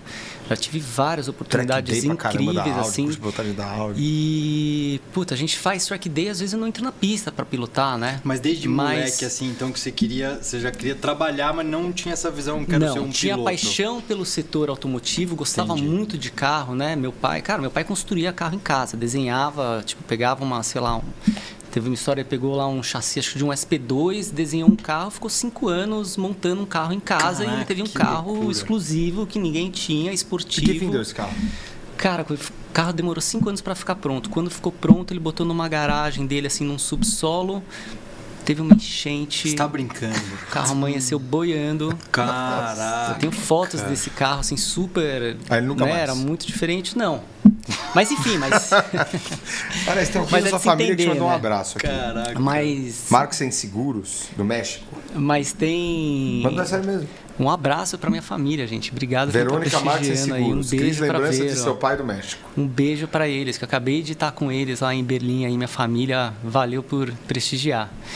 Mas é isso, Bruno, assim, a pilotagem em si não, sempre gostei do, do universo. E queria estar próximo, Nunca fui um cara muito técnico, não sou um cara que manjo é, tecnicamente de carro, né? Vocês podiam me dar uma várias aulas, inclusive aprendo muito aqui no podcast, mas eu gosto muito de comunicação também. Então eu acabei me especializando no negócio de comunicação, olhando muito para a indústria automobilística, né? Mas hoje, cara, trabalhando para empresas dos mais variados setores, Que assim, legal. né? Mas é óbvio, gosto de carro, né? Sim, Tenho carros ba- assim, né, que eu sou super apegados, mas na pilotagem, o máximo que eu faço é nos track days entrar lá, dar uma Você voltinha. pilotou esse último? Esse último não pilotei. Eu pilotei no pilotei domingo M2. passado. Esse eu não eu, eu tava doido pra andar no M2. Eu, eu peguei a chave do Léo. Ô, mas ciumeira do Léo não. não, ah, mas se eu fosse ele, eu não te prestava o carro também. Não, eu já falei, ô só Marcel, eu ó, ó, quero andar no M2. É. Aí o Marcel falou, dá a chave pra ele agora. Foi. Cuidado que o pneu tá careca. Careca, meu. Virei, deu o pneu tá redondo, colonial ali no negócio. Pode andar. Daí eu peguei o Ranastiro e falei, ah, vem do lado aí que É. tem que voltar sem freio esse negócio. É, eu, ia, eu ia mandar um carro pra andar no, no último track day, só que tava com tanto carro, né, do que chegou uma hora que teve um Acabou overbook, adesivo. assim. Acabou o adesivo de numeral ali. Caraca, que louco. É, foi um Eu vi vários sucesso, carros assim. no posto voltando domingo, final da tarde. Com adesivinho na porta. É. Na porta e na. na- A galera não tira, né? No Muitos mantêm, assim, uns dias ali, porque fica legal, Uma né? boa lembrança. Boa Não, lembrança. legal. É bom mostrar também que você fez parte do evento do Motor Grid. É, Ah, legal, legal. é isso aí. Isso é bacana, cara. E, Cris, você falou que não, não- Agora com a agência, principalmente, você não tem muito tempo pra ficar, obviamente, quando você era da Audi, você estudava os concorrentes, via como é que lançar, posicionamento de. Quando você vai botar no mercado Tayuri, você meio que falou, cara, tem que focar no que estão me contratando, obviamente não vou fechar o olho pro mercado. Mas você, hoje, se fosse escolher um carro pra você ter agora, Um carro novo que eu não tenho, que eu, gost... Que eu pudesse escolher. aliás, eu quero ver no Ping Pong se vai ser real os carros que você tem. Tá bom, a gente vai falar disso. Ele cogitou em não ser real. Cogitou, Tá cogitou. A cara dele. É difícil, hein, Edu? Mas olha, eu tô precisando de um carro lá em casa que eu tô olhando para um mini elétrico agora. Legal, o Bruno também quer um. Mini elétrico. É, a Defender nova é um carro que eu acho super legal. Super legal. Pro meu lifestyle estilosa. hoje, Conseguiram modernizar um e Defender novo encaixaria muito assim, Olha lá, que eu Marcelo, frequento muito. Dá um descontinho aí, troca em permuta de patrocínio, faz aí, ó. Tá aí, ó. Que Ó, tô mais, aberto gente? pra negócio, E a ó, cara, M2, M2 também é um Nossa. carro incrível. Não, vou te falar uma coisa, pilotei M2 CLA lá. 45 é um carro que eu ainda não dirigi, mas deve ser Deve ser, animal. eu nunca guiei também, mas deve ser Sim. bem legal. Ô, pilotei M2 lá, que isso, cara. M2 É, tá demais, né? Nossa senhora, Tá dei- difícil. uma... Tô louco pra Tá guiar esse difícil carro. resistir. Não, tá, tá difícil, cara. Eu falei com o Marcel já. não foi tão difícil resistir, não. Já, já, já desisti de resistir. Falei, cara, como é que faz aí pra trocar? É. Tem que esperar, a fila tá grande, viu? Quem diria em BMW pós-pandemia com fila de carro? Foi o que a gente falou, posicionamento, né? É. Quanto tempo ficaram sem trazer M2? Ó, vamos trazer a CS, chegou a CS, acabou. Não traz mais. E ficou aí segurando, segurando, segurando. E a escassez de M2 ficou aí. Mas acertaram também, né? Do, no carro, no preço. Ó, o pessoal que olha por foto e fala que é feia, não fala mais. Veja o carro porque vocês vão se arrepender. Maravilhoso. Nossa, o carro tá Eu demais. vi lá, né? Não, Eu que carro bonito, cara. Maravilhoso. Que carro bonito, cara. Compra uma pra gente ter no, no track day. O Bruno, né? Hã? Também. Tá, se quiser deixar um pouco com, com o pessoal do podcast aí.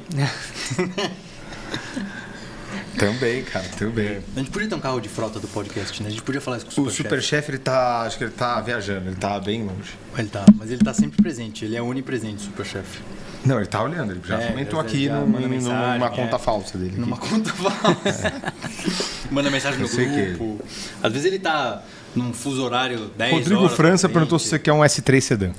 Puta, o Rodrigo França também é um cara. Vocês Gente conhecem o boa, Rodrigo hein? França? Conheço, você me apresentou. Esse, esse pode vir aqui também. Esse Ô, deveria Rodrigão. ter Esse sido tem que piloto, vir aqui, hein? hein? Vai vir, virar. E corre de kart até hoje, Pilota né? muito, cara. Manda e ele bem, tá é. falando do S3 porque a gente podia direcionar alguns carros de frota para vender para VIPs, né? Pessoas importantes aí como o grande Rodrigo França. Ele comprou um S3 que ele tem até hoje. E eu sempre tive de olho nesse carro dele aí. Puto, o S3 sedã era legal. Então, uma né? vez por ano eu ligo para ele, e aí, Rodrigo, você vai vender o S3?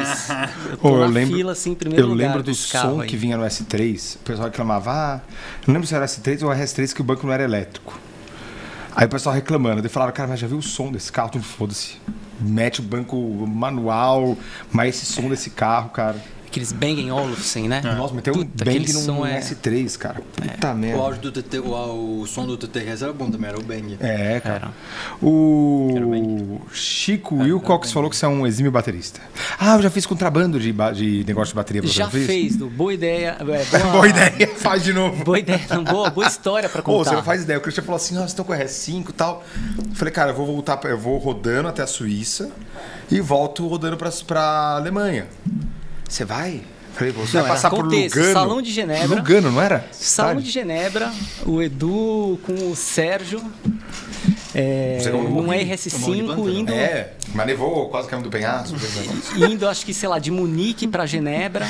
E, cara, tinha uma. Sou de fato baterista e tinha uma, tem uma fábrica de pratos que, assim, incrível. Pode falar a é marca o, quente, não a, tem? a Peixe, é o Pagani dos, dos pratos Qual de o nome? Paste.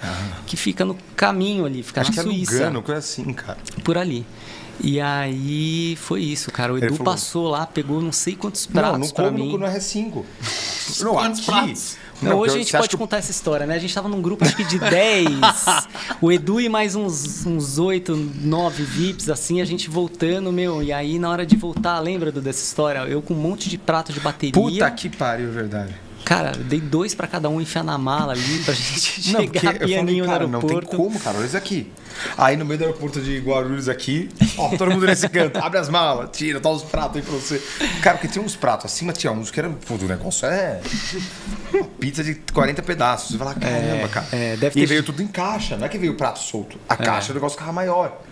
Porra, Mas vocês cara. transportaram ele em caixa ou transportaram solto? Na mala, jogou na mala ali. Sem Cada um caixa. jogou três Não, na mala e, e veio e foi sucesso, gente. Assim foi.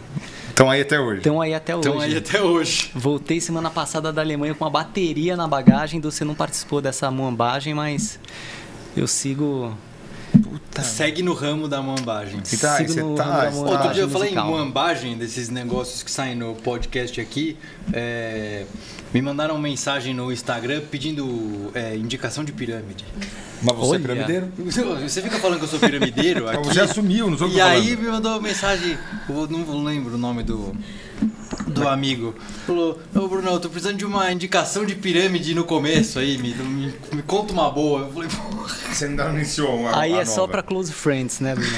Ah, é só pro é, o OnlyFans. É, Só o Bruno tem OnlyFans. Eu tenho OnlyFans, pirâmide, entendeu? Você- Igual você tem uma empresa de contrabando, né? E eu fui o, a mula. cara, eu contrabando. Naquela foi, eu falei, cara, eu falei, tá bom, os pratos de bateria. Cara, dava tava quase tamanho dessa mesa de pratos de bateria. Se você colocasse um do lado, as que não dava mais, colocasse as caixas uma do lado do outro, dava mais. Tinha uns 20, né, Edu? Tinha uns Meu, 20 e um pratos. RS5, que botou no porta-mala já não. Botou uma primeira já não entrava, um só. É. Falei, caramba, cara, vamos por esses menores aqui. Aí colocou no banco de trás, pôs o banco pra frente. Acho que na hora que ele chegou, o Cristiano acreditou, ele olhou e falou: o que, que é isso, cara? Sério que E é pesado o negócio, né? Que é em peça de carro, assim, é grande, volumoso, pesado. É. É isso aí. Quer joguinhos? Por exemplo, joguinhos. Bora. Eu não vou falar modelos de carro porque. Porque. Por quê? O Christian tá, como eu disse, ele tá meio por fora dos modelos. Fala tipos. Boa. Como você preferir, se quiser ir nos modelos, Edu. Ah, então assim, vamos nos modelos. Eu achei Vamos que você ia falar pra modelos. ele, não é, mas da montadora, ele pode responder o que ele quiser agora. É isso. Né? Tirando você que é. Dos modelos é você que faz, você lembra disso? Eu lembro, mas eu tenho que você falar o, o ping Vou fazer o Ping Pong. Você conhece o nosso clássico jogo Claro. Ping Pong? Ping pong. O Ping Pong, Ping Pong. As regras são as seguintes. Apesar do Edu falar que é o contrário. Meu Deus. O que aconteceu? Isso é mentira.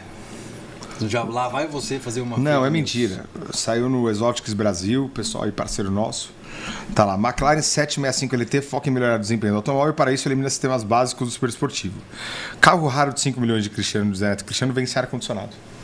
Isso é mentira. Não, é, é um opcional do 765 LT. Vocês trouxeram alguma ar-condicionado? Não, a fábrica, a montadora não trouxe nenhuma. É oficial que ele comprou, foi lá na ordem com o Anderson. O Anderson, a não ser que ele tenha configurado Não, não, não, ele depois. pegou uma usada que tava lá. Do, Não, uma azul bem clara. Não, não. Porque é- a, a questão é, o, o- tanto no 765 LT quanto, se eu não me engano, no McLaren Senna, é, o, você podia escolher o carro vir sem o ar-condicionado. Meu Deus! Olha o que ele fez. Não, mas eu- que, que... Não, desculpa. Não, ele fez pra causar, fez pra causar, fez pra cliques. Não, não é tá buscando likes, tá buscando cliques. Colocou um ventilador no, no 765 LT, mas tinha o opcional do carro vir sem o ar-condicionado, porque isso, como é um carro que busca performance, pra peso, entendeu? Então até falava ali no, no manual da McLaren o quanto E o Anderson respondeu. o quanto ele ficava mais leve sem o ar-condicionado. Mas eh, ac- acabamos num. Assim. Não faz sentido pro Brasil. Olá, quer ouvir a resposta do Anderson? A gente tem que Quero. dar um jeito de resposta, né? Amigos, três pontinhos. Ele comentou com qual perfil, eu ver? Anderson, Com da McLaren? Anderson McLaren. Ótimo. Carro tem ar-condicionado e sistema de som BW. A 765 é um carro limitado exclusivo com numeração de produção com placa dentro do carro. A versão LT de todas as McLaren significa um long tail, nomenclatura usada para os carros semipista de versão especial da marca.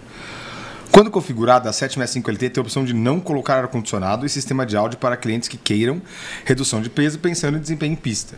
Menos peso, mais performance. Aí vai um Eduardo, compra o carro e vai tudo por água abaixo. Porém, não é o caso de nenhum exemplar que veio para o Brasil. Estamos, estamos, mesmo anos sem trabalhar juntos, estamos alinhados, eu e Anderson, como sempre. Toca aqui. Deixa eu ver se toque online. Eu tenho já um outro GIF. Mas é isso. É isso. Boa, Anderson. Vou curtir para tentar subir o comentário dele. Mas a ideia foi boa do engajamento. Eu gostei também do que ele fez. Eu achei muito. Eu vou lá comentar na página, mas é ótimo isso. Cadê ele? Ele apagou? Bom. Anderson, semana que vem aqui no podcast. Quinta-feira. Gustavo Valente. Terça-feira, Gustavo. Vai poder quinta é explicar Anderson. melhor essa história aí pra Exato, gente. Muito bom. E o São Paulo vai contratar o Messi. Vamos chamar o Messi Podcast. Depois do Gustavo Lima e do Bruno e Marrone. Eu tenho que Vamos lá. separar do Bruno em uma, Marrone em outra. Acho que ia ter mais, né? Cliques. Boa. Cliques. Ping pong. Ping Kong. Fazer uma pergunta, responde com a primeira coisa que vier na sua cabeça, sem direito à explicação. Pode explicar apenas após o ping pong. Está preparado? Vamos lá. Peraí. E tem que falar a verdade, né? Segundo o Eduardo. Tem que falar sempre. Eu vou dizer, eu vou, ó. Se mentir, eu vou te falar que é mentira aqui, hein? Estou esperando o ok do Eduardo. Pode começar. ir. Ping pong com Christian. Qual foi o seu primeiro carro? Fiat Palio EX, qualquer coisa. Não combina com você. Qual a sua marca preferida? Porsche Qual o seu modelo preferido? 911. Qual? Carreira S. Boa. Qual o seu carro atual? 911 Carreira S. Qual o carro mais legal que você já pilotou? É. R8 V10. Qual um carro que você sonha em pilotar? Uma lá Ferrari. Sonho alto. Qual um carro que você já teve e teria de novo? Cara, Audi S3. S3. O do Rodrigo tá vendo? Exato. Ainda não, mas Ainda não. esse dia vai chegar. Meu Deus, Eduardo. Cara, ninguém aqui desse podcast tem paz. Tem. Muito bom. Até o Anderson, que não quer vir, não tem paz. Exato. Vamos lá. Cadê o teu. Tá tudo aqui riscado, mas eu reconheço. Cara, Ju. Eu vou eu tenho que arrumar um jeito de publicar isso aí. Não, podemos. Meu Deus. Vou te falar alguns modelos de carro e você escolhe qual que você quer. E não interessa se ele não é hatch ou não é, interessa que a gente manda aqui e a gente põe o que a gente quer no nosso, nosso negócio. E a gente fala do Bora. jeito que quiser também o modelo do carro. É. Hatch. Golf GTI ou Civic Type R? Golf GTI. Golf GTI ou Corolla GR? Corolla GLR. Corolla ou RS3? RS3. RS3 ou M135? M135. M135 ou CLA 45? CLA 45. CLA 45 ou M2 Competition? M2 Competition. Então vamos para sedã agora. Sedã. C63 ou M3? M3. Você escolheu o papel errado. Qual que é? M3? M3. M3 ou Giulia? M3. M3 ou Ghibli? M3. M3 ou RS5 Sportback? M, M3. M3. Boa. Sedã de médio grande porte. Maserati 4 Porte ou Bentley Continental? Bentley. Bentley ou Panamera Turbo S? Panamera Turbo S. Panamera Turbo S ou M5? Panamera Turbo S. Panamera Turbo S ou RS6? RS6. RS6 ou S65? RS6. RS6 ou S65? Ah, já falei. Já, não. Qual foi? Vou fechar com RS6. RS6 ou Rolls Royce Ghost? Porra. Rolls Royce, né? Tá, Rolls tá ganhando de lavada isso aqui. Tá uma coisa de louco. SUV. X6M ou GLE 63? X6M. X6M ou RSQ8? X6M. X6M ou DBX 707? DBX. DBX 707 ou Bentley Bentayga? Bentley Bentayga. Você fala Bentayga ou Bentayga? Bentayga. Pronto. Bentley Bentayga ou Cayenne Turbo GT? Puta, Cayenne Turbo GT. Cayenne Turbo GT ou Urus? Cayenne Turbo GT. Turbo GT ou G63? G63. G63 ou Puro Sangue? G63. G63 ou Rolls Royce Cullinan? G63. G63, olha lá. Esportivos. Aston Martin Vantage ou Bentley Continental? Vantage. Vantage ou R8? Vantage. Vantage ou AMG GT63? GT63. GT63 ou Turbo S? Turbo S. Turbo S ou DBS? Turbo S. Turbo S ou Artura? Turbo S. Muito bom, muito bom. Super esportivos. Ferrari 296 ou Porsche GT3 RS? GT3 RS. GT3 RS ou McLaren 750S? Puta, vamos de McLaren. McLaren ou GT Black Series? GT Black Series. GT Black Series ou Ferrari SF90 Stradale? Ferrari. Podia ser XX já, né? Não, deixa essa. Ferrari ou Aventador SVJ? SF. SF ou 812 Competizione? SF. SF90, hein? Polêmica, vai ser cancelado. Por não escolher uma competizione. Hypercar. Mas eu, entre as duas, concordo na escolha dele. Você só critica esse F90. Mas nem com a competição, acho que eu teria CF90. Vou ser cancelado agora também, Vai, junto com o também. Christian. Vai também. Hypercar. Carreira GT ou SLR McLaren? Carreira GT. Carreira GT ou Enzo? Carreira GT. Carreira GT ou McLaren P1? McLaren P1. McLaren P1 ou Bugatti Veyron? Veyron. Ma- Vamos de Veyron. Veyron ou 918 Spider? 918 Spider. 918 ou LaFerrari? 918 Spider. 918 ou Senna? Puta. 918 Spider. 918 Spider ou Chiron? Chiron. Chiron ou AMG One? Chiron. Chiron ou McLaren F1? Chiron. Chiron, ó que beleza, hein? Temos a garagem do Chris aqui. A garagem de Christian Markson. Christian Markson. Jesus Christian. Bela. Jesus Christian. Bela Por garagem. que, que é isso aí mesmo? Pelos, pelos milagres? Pelos milagres. É, M2 Competition, M3, Rolls Royce Ghost, G63, Turbo S, SF90 e Chiron. Porra, é quase a garagem do Adib, né? Parabéns pela sua garagem. Quase. Ah, tipo, só falta o Chiron. E aqui não tem um Bentley Bentayga. Não tem o Bentayga. Um Bentayga, não tem. Nem um Bentayga. Nem o Bentayga. Nem um Bentayga. Você gosta de Fórmula 1? Cara, não, Du. Não, assim, gosto, mas não sou fã viciado de acompanhar, assim. Assim, ó, sabe alguns pilotos? Zero. Nem das antigas. Melhor a gente não Cara, fazer. futebol e Fórmula 1. A gente pula.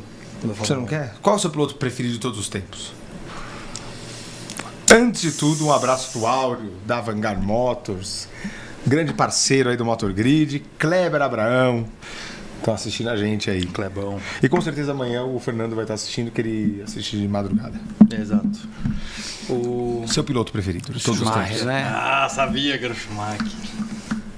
Senna e Schumacher, assim, é uma belíssima disputa, mas... Não, o Schumacher era... Ele, é, Eles estão me aquela- impressionando no WhatsApp, eu não vou mandar mais abraço pra ninguém. Aquela a, li- a lista, a prateleira que a gente fala que é a prateleira dos alienígenas. Sim. Quem é? é? Senna, Schumacher, Hamilton. Alonso, apesar de ter só dois títulos. É, meio alienígena. Foi campeão de tudo. Sim. Mas é que. É. Mas é, tem uns 4 ou 5 ali, 6 naquela. Você acha que o Verstappen já tá? Ah, ele é bem alienígena. Mas ele tá, ele tá, não tá, ele tá, ele tá escalando, ele tá nos últimos degraus. Ele já tá Não, lá. ele já tá lá. O cara é muito fora da curva. O Vettel tá lá? Não. Alienígena. Então, e se o Verstappen parar de ganhar? Vai ser um Vettel? Não. Acho Não, que não. O Verstappen correu sozinho. Não é que correu sozinho. Você tá em achando que que Verstappen- sentido correu sozinho? Sente não correu sozinho, não tinha uma equipe pra bater de frente, não tinha o Não, não, de forma alguma. Eu acho que o que o Verstappen faz com o carro e tem feito da forma consistente que está fazendo, com a idade que tem, com a experiência que tem, que tudo bem, ele tem bastante tempo de Fórmula 1, mas ele tem ali 25 anos. Mas quando que o Vettel foi campeão? Não, o Vettel também foi muito jovem, mas assim, apesar. O, o Vettel é um cara fora da curva, ninguém é quatro vamos- é, vezes, tô três vezes campeão do Então, quatro, quatro o vezes. três- quatro vezes três- campeão do então, mundo mas vamos lá. à toa. Mas assim, eu acho o Verstappen mais impressionante do que o Vettel. Não, mas vamos lá. Pensa bem. Fala. O Vettel, quando ganhou, ele derrubou alguém que tava vindo. Sim. O Verstappen, mesma coisa. Não, como alguém que tava vindo. Alguém tava ganhando já há tempo, era o Alonso? Ele parou o Alonso? Quem ele parou o Vettel? Foi o Alonso. Não, o último campeão tinha sido Button. E antes o Hamilton, e antes o Massa. Massa Massa não. Raikkonen, é. Então não tinha uma hegemonia. Aí a Red Bull veio e A acabou Red com Bull tudo. veio e dominou, não Tá. tinha. Agora vamos lá. Então o Verstappen tem um, um grande negócio a favor dele porque ele parou o Hamilton. Se a Mercedes está boa ou não, Sim. ele parou o Hamilton num ano que a Mercedes estava brigando até a Mas última acho que assim, curva. o- o- esses Mas dois. vamos Fala. supor que o Verstappen não ganha ano que vem com a Red Bull. No outro ano, não ganha. Vai para uma Ferrari, não ganha. Vai para não sei o quê, não ganha e tem a mesma trajetória do Vettel. Você colocaria ele na última prateleira? Sim. Porque assim, eu não, eu não tô nem pegando em números ou em Tá é, quantidade de, de, de, de tempo ganhando ou número de títulos. Uhum. Eu acho que se você comparar os, os dois muito é, são, são fora da curva, o Vettel também. E também teve momentos brilhantes, mas se você for em momentos singulares que os dois foram brilhantes, eu acho o Verstappen mais brilhante e teve mais momentos singulares ali onde ele foi brilhante. Sim. Entendeu? Mas o Vettel na época também? Eu acho que não da mesma forma que o Verstappen. É isso que eu tô falando. Os dois tiveram esses momentos, mas eu acho o Verstappen mais brilhante do que Eu acho que o Verstappen Vettel. pegou uma Fórmula 1 americana.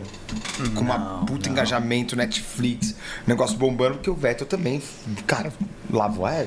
Cara, não, mas é o seguinte, é, assim, pouca gente vai entender, mas ele saiu do kart, fez um ano de Fórmula 3 e sentou no Fórmula 1.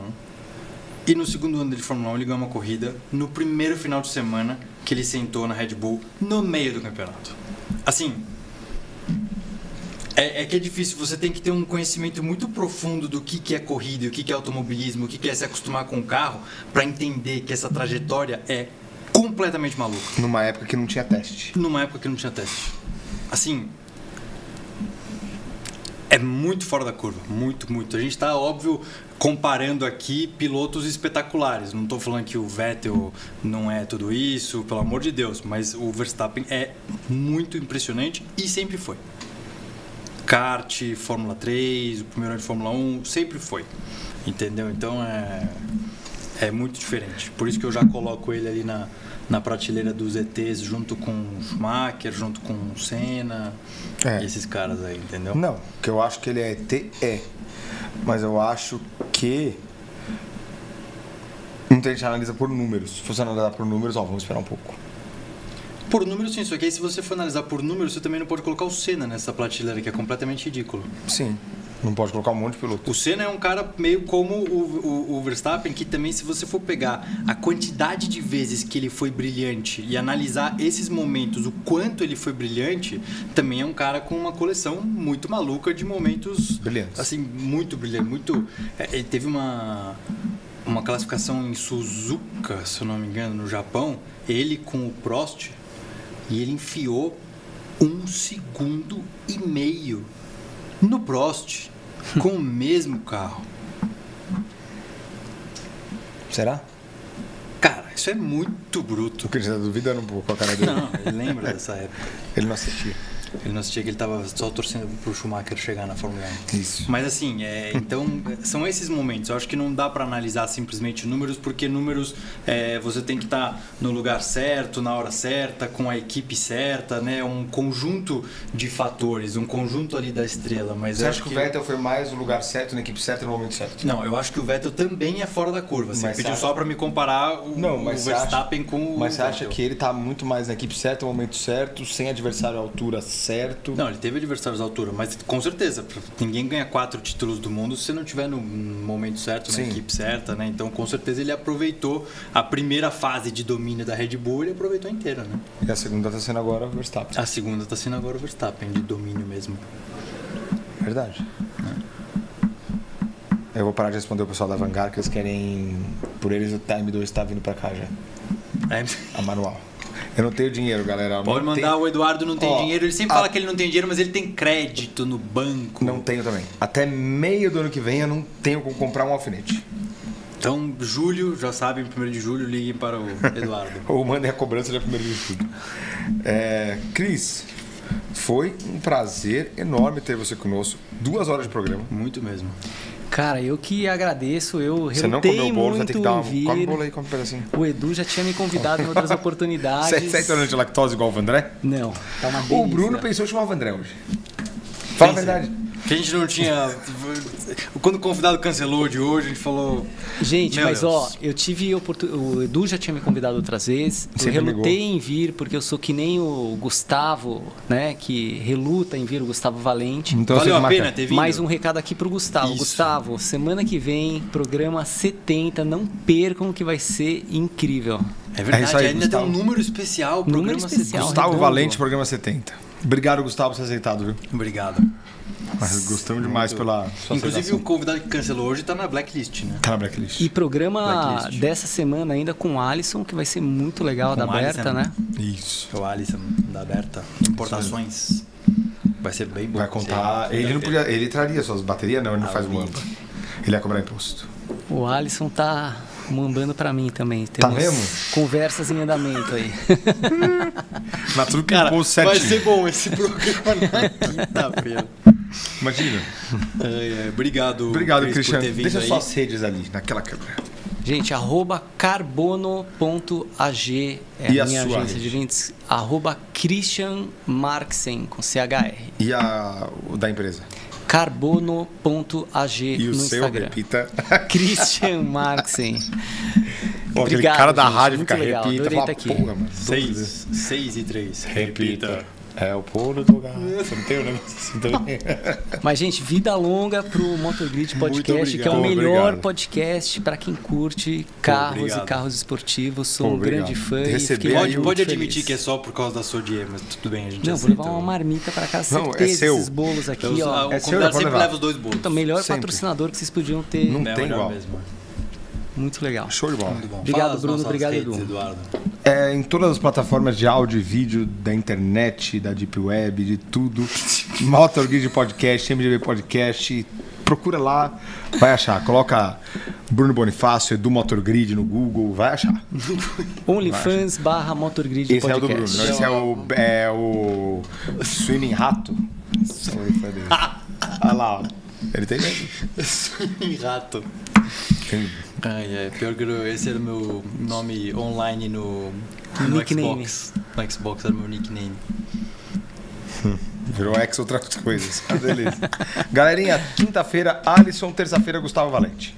Não, não isso. Quinta-feira, Alisson, terça, Gustavo Valente. E na outra quinta, Anderson, Anderson McLaren. McLaren. Isso. Toda terça e quinta, às 19 horas, um episódio novo para você e nos vemos na quinta-feira. And people. Com o quê? Ao vivo. En vivo. en vivo. Valeu, galerinha. É isso aí, Tchau. valeu.